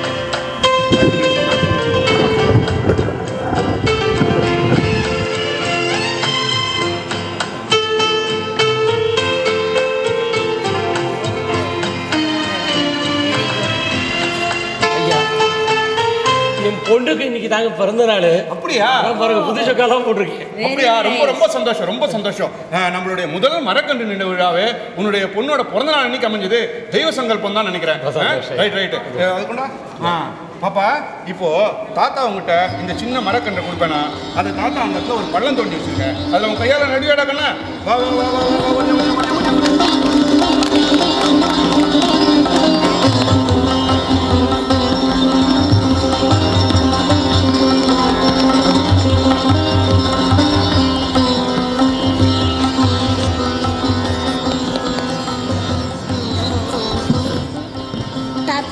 இந்த சின்ன செடி எப்போ பெருசாகி பூ காய் பழம் எல்லாம் கொடுக்கும்? இந்த சின்ன செடி எப்போ பெருசாகி பூ காய் பழம்லாம் கொடுக்குறியாடா கண்ணா? நீ இப்போ எந்த கிளாஸ் படிக்கிற? ஆ, நீ பெரிய பொண்ணாகி காலேஜுக்கெல்லாம் போய் நீ வேலைக்கு போக தெரியுமா? அப்போ இந்த சின்ன செடி பெரிய மரமாகி பூ காய் பழம்லாம் கொடுக்குண்டா கண்ணா. அவ்வளோ நாளைக்கு பிறகு உங்களால் இந்த மரத்துல இருந்து வர்ற பழத்தை சாப்பிட முடியாது. பிறகு எதுக்கு தாத்தா இந்த செடியை நீங்கள் நடணும்? அப்படி இல்லைடா கண்ணா. அப்படி எல்லாரும் இந்த உலகத்தில் நினைச்சிட்டா இந்த உலகத்தில் மரங்களே இருக்காதுடா. என்னைக்கோ எங்கள் தாத்தா நட்டு வச்சுட்டு போன மரத்துலேருந்து வந்த பழத்தை நேற்றுக்கு நான் சாப்பிட்டேன். நேற்றுக்கு நான் நட்டு வச்சுட்டு போன மரத்துலேருந்து வந்த பழத்தை இன்னைக்கு நீ சாப்பிட்டுட்டு இருக்க. இன்னைக்கு ஒன்று கையால் நட்டு வச்சிருக்க பத்தியா? இதுலேருந்து வர்ற பழத்தை உனக்கு பின்னாடி வர்ற குழந்தைங்கள்லாம் சாப்பிடுவாங்கடா கண்ணா. அப் அப்படின்னா நான் இன்றைக்கு நாம் நடுற மரம் நாளைக்கு பிறக்க போகிறவங்களுக்காகவா அவங்களுக்கு நிழல் கொடுக்கறதுக்காக. ஆமாண்டா. இந்த மரமே அந்த தத்துவத்தை தானே சொல்லுது. யாரோ சாப்பிட்டுட்டு வேண்டாம் அப்படின்னு தூக்கி போட்ட ஒரு மாங்கோட்டை வளர்ந்து பெருசாக மரமாகி பூ காய் பழம்லாம் கொடுக்குது. அதனோட நிழல் நாலு பேருக்கு உதவுது. சாதாரண ஒரு மரத்தினோட நிழலே நாலு பேருக்கு உதவும் போது ஆறு அளவு படித்த மனுஷன் அப்படின்னு சொல்லிக்கிற நம்மளோட வாழ்க்கையும் யாருக்காவது உதவ வேண்டாமா? அதனால தான் இப்போது ஜப்பான்லலாம் அந்த கார்பெண்டர்ஸ் இந்த தச்சு தொழில் செய்கிறவங்களாம் என்ன பண்ணுவாங்களாம்? மரங்களை வெட்டி மேஜை நாற்காலிலாம் செய்யறதுக்கு முன்னாடி அந்த மரங்கள் கிட்ட போய் மண்டிட்டு கேட்டுப்பாங்களாம். மரமே என்னுடைய கைத்திறமையை காட்டுறதுக்கு உன்னால் முடிஞ்ச உதவியை செஞ்சு கொடு அப்படின்னு சொல்லி முதல்ல கேட்பாங்களாம். அப்புறம் அதில் மேஜை நாற்காலிலாம் செஞ்ச பிறகு மரமே என்னுடைய கைத்திறமையை காட்டுறதுக்கு உதவியாக இருந்த உனக்கு ரொம்ப நன்றி அப்படின்னு அந்த மரத்துக்கு நன்றி தெரிவிச்சுப்பாங்களாம். ஆனால் நாம் இப்போ என்ன பண்ணுறோம் வாஸ்து சாஸ்திரம்னு சொல்லி வீட்டை சுற்றி இருக்கிற மரங்களெல்லாம் வெட்டி சாய்க்கிறோம். போக்குவரத்து இடைஞ்சலாக இருக்குன்னு சொல்லி நூறு இரநூறு வருஷங்களாக இருந்த மரங்களெல்லாம் வெட்டி சாய்க்கிறோம். நாம் நரபலி கொடுக்குறத என்றைக்கோ நிறுத்திட்டோம். ஆனால் மரபலி கொடுக்கறத தொடர்ந்து பண்ணிக்கிட்டே இருக்கோம். டேய் ராமசுப்பு கோவிந்தராசு எனக்கே வயசாயிடுது. என் பையனும் ஃபாரின்ல இருக்கான். நாளைக்கே எனக்கு ஏதாவது ஒன்று ஆயிடுச்சுன்னா ஐயா. இருடா நெருப்புன்னு சொன்னா நாக்கு வந்துடாது நாளைக்கே எனக்கு ஏதாவது ஒன்று ஆச்சுன்னா மறுபடியும் என்ன நாலு மரக்கட்டைகளுக்கு நடுவில் வச்சு கொளுத்தி இந்த ஊரை அழிச்சிடாதீங்கடா என்ன ஏதாவது ஒரு வளர்ற மரத்துக்கு நடுவில் குறைச்சிருங்க நான் இறந்த பிறகும் ஏதாவது ஒரு மரத்துக்கு உரமாக வரதாண்டா விரும்புகிறேன் ஆர்டர் ஆர்டர் ஆர்டர். இருபது வருடங்களுக்கு முன் ஆக்சிஜன் தொழிற்சாலை தீப்பற்றி எரிந்ததற்கு பின் தங்களுக்கு பெருந்த நஷ்டம் ஏற்படுத்திவிட்டது. அதனால் உடனடியாக தொழிற்சாலை நடத்த முடியவில்லை என இன்று வாதி கூறும் காரணம் ஏற்புடையதாக இல்லை. ஏனெனில் நஷ்ட ஈட்டை அவர்கள் இன்சூரன்ஸ் கம்பெனி மூலம் பெற்றிருக்க வேண்டும். அதன் விவரங்கள் இந்த நீதிமன்றத்திற்கு சமர்ப்பி சமர்ப்பிக்கப்படவில்லை.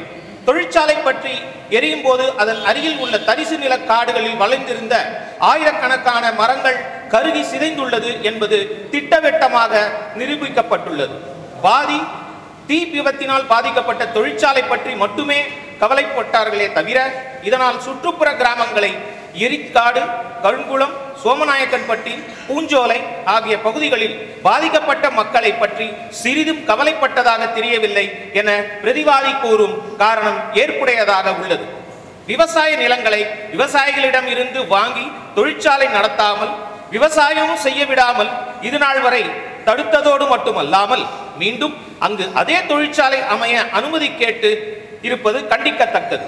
கிராம மக்கள் தங்கள் இழப்புகளை பொருட்படுத்தாமல் மீண்டும் அதே நிலத்தை பொன் செழிக்கும் பூமியாக மாற்ற எண்ணியும் அழித்த வனப்பகுதிக்கு உயிர் கொடுக்கும் பொருட்டும் ஒரு இயக்கத்தை தங்களது சொந்த நிதி கொண்டு இருபது ஆண்டுகளுக்கு முன் தொடங்கி அதன் மூலம் பாதிக்கப்பட்ட கிராமங்கள் முழுவதும் காலி இடங்களில் மரக்கன்றுகளை நட்டு பராமரித்து வந்த பூஞ்சோலை கிராம மக்களின் செயல் பாராட்டத்தக்கது. மீண்டும் அவர்களின் அமைதியான வாழ்வில் குறுக்கிடுவது நியாயமாகாது என இந்த நீதிமன்றம் கருதுகிறது. அறிவுபூர்வமாக பார்த்தோம் என்றால் மரங்கள் காற்று மண்டலத்தில் உள்ள கார்பன் டை ஆக்சைடு தங்களது உணவாக கிரகித்துக் கொண்டு நமது வாழ்வாதாரமான ஆக்சிஜனை வெளிப்படுத்துகிறது. இந்த மரங்களை அழிப்பதனால் நமது காற்று மண்டலத்தில் கார்பன் டை ஆக்சைடு ஆக்சிஜனின் அளவு அதிகரித்து பூமி வெப்ப பூமியாக குளோபல் வார்மிங் மற்றும் அபாய அதிகம் உள்ளது. என்பது அறிவியல் பூர்வமாக ஆதார ஆதாரங்களுடன் தெரிவிக்கப்பட்டுள்ளது. எனவே வனங்கள் இயற்கையில் நமக்கு வெகுமதியாக கிடைத்த ஒரு ஆக்சிஜன் தொழிற்சாலை. தான் என்பது இந்த கோர் திட்டவட்டமாக நம்புகிறது. அத்தகைய ஒரு அற்புதமான இயற்கையான ஒரு ஆக்சிஜன் தொழிற்சாலையை உருவாக்கி இன்று வரை சிறப்பாக செயல்பட்டு கொண்டிருக்கும் பூஞ்சோலை கிராம மக்களுக்கே அந்த தொழிற்சாலையின் நிலங்களையும் கொடுத்து அவர்கள் வாழ்வில் வளம் பெற செய்வதுதான் நியாயம் என்ற அடிப்படையில் பிரதிவாதிக்கு சாதகமாக இந்த நீதிமன்றம் தீர்ப்பளிப்பதுடன் மற்றும் அல்லது வாதிக்கு இனிமேல் இந்த நிலங்கள் எந்த உரிமையும் இல்லை என தீர்ப்பளிக்கிறது. வெந்து தணிந்தது என்ற இந்த நாடகத்தை story dialogue direction G Sivakumar நான். இதில் பங்கு பெற்றவர்கள் வாத்தியார் சுந்தரமாக ஜி சிவகுமார் விவசாயி ரா- ஏ ரவிக்குமார் விவசாயி கோவிந்தராசுவாக Jayaraman MLA R Vigneshwaran manager and MLA பிஏவாக S Chandramouli Sundaram வாத்தியாராக மகள் கௌசிக் ஆர் பாலகுமார் கலெக்டராக சி டாக்டர் சி ஷர்மிளா பூக்காரி சின்னத்தாயாக ஆர் திவ்யா குழந்தை நட்சத்திரம் உன் பேர்? ஜெனிஷா. மேரி. ஜெனிஷா மேரியை நாங்கள் இங்கே வந்து இந்த செக்ரட்டரியோட இதுலேருந்து எடுத்துக்கிட்டு இன்னைக்கு தான் ப்ராக்டிஸ் கொடுத்து அந்த பொண்ணு இன்னைக்கு நடிச்சு கொடுத்தது எங்களுக்கு. நீதிபதியாக எச்எஸ்வி சரவணன். போலீஸ் இன்ஸ்பெக்டர் உங்க பேர் சொல்லுங்க. நெல்லை ஜாஃபர் கான்ஸ்டபிள் ஜெனோ அப்புறம் லாயர்ஸு காலேஜ் ப்ரொஃபஸர் ஆறுமுகம் இன்னொரு ஆர்டிஸ்ட் வந்து இவங்களோட அம்மா. அவங்க பேர் என்ன? சுபத்ரா. இத்துடன் scene set stage Kannan light and music Kalaivanar Kicha makeup A Ravikumar. உலக காடுகள் தினத்தை சிறப்பிக்கும் வகையில் இந்த நாடகத்தை நடக்க வாய்ப்பளித்த லாம் கிரியேஷன்ஸ் திரு முத்தமிழ் அவர்களுக்கும் நெல்லை சங்கீத சபா காரியதரிசி திரு நடேசன் அவர்களுக்கும் எங்களது குழுவின் சார்பாக நன்றியை தெரிவித்துக் கொள்கிறோம். இன்று காலை முதல் இரவு வரை எங்களை ரயில் நிலையத்திலிருந்து வரவேற்று உணவு உபசரித்து எங்களுடன் இருந்து எங்களுக்கு வழிகாட்டியாய் உதவிய திருமதி பார்வதி முத்தமிழ் அவர்களுக்கும் எங்கள் குழுவின் சார்பாக நன்றியை தெரிவித்துக் கொள்கிறோம். மேலும் நெல்லை சங்கீத சபா உறுப்பினர்கள் அனைவருக்கும் எங்கள் குழுவின் மனமார்ந்த நன்றி. டாக்டர் பிரேமச்சந்திரன் ஐயா அவர்களை ஒரே ஒரு நிமிடம் மேடைக்கு வருமாறு அழைக்கிறேன். ஏனென்று சொன்னால் இந்த நாடகம் நடக்கிறது என்று சொன்னால் அதற்கு முழுக்க முழுக்க காரணமே டாக்டர் பிரேமச்சந்திரன் அவர்கள்தான். அவர்கள் மட்டும் இந்த நாடகத்திற்கு ஆதரவு கொடுக்க வேண்டியிருந்தால் இந்த நிகழ்வே நடந்திருக்காது. எனவே டாக்டர் அவர்களே அவர்களது கையினால் அந்த சன்மானத்தில்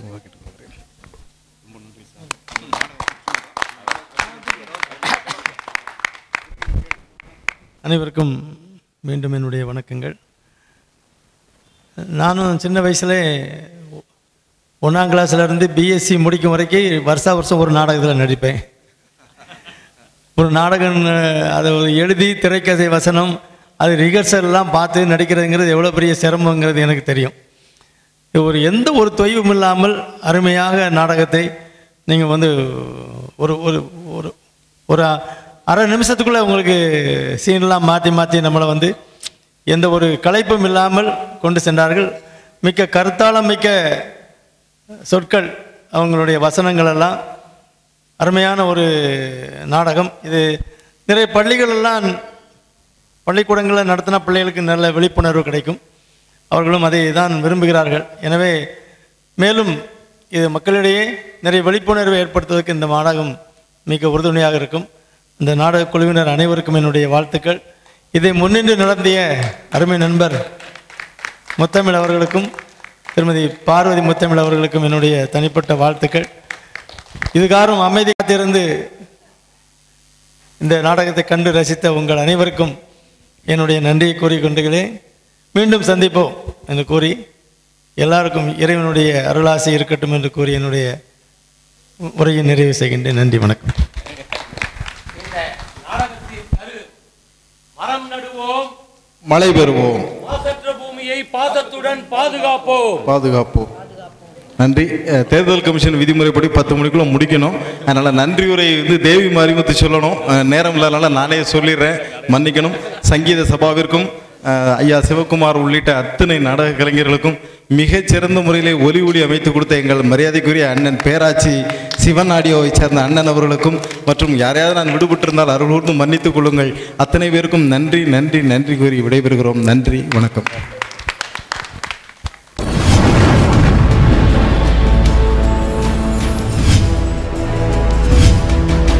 நீங்கள் பார்த்து கொண்டிருப்பது உங்கள் கதிர் டிவி.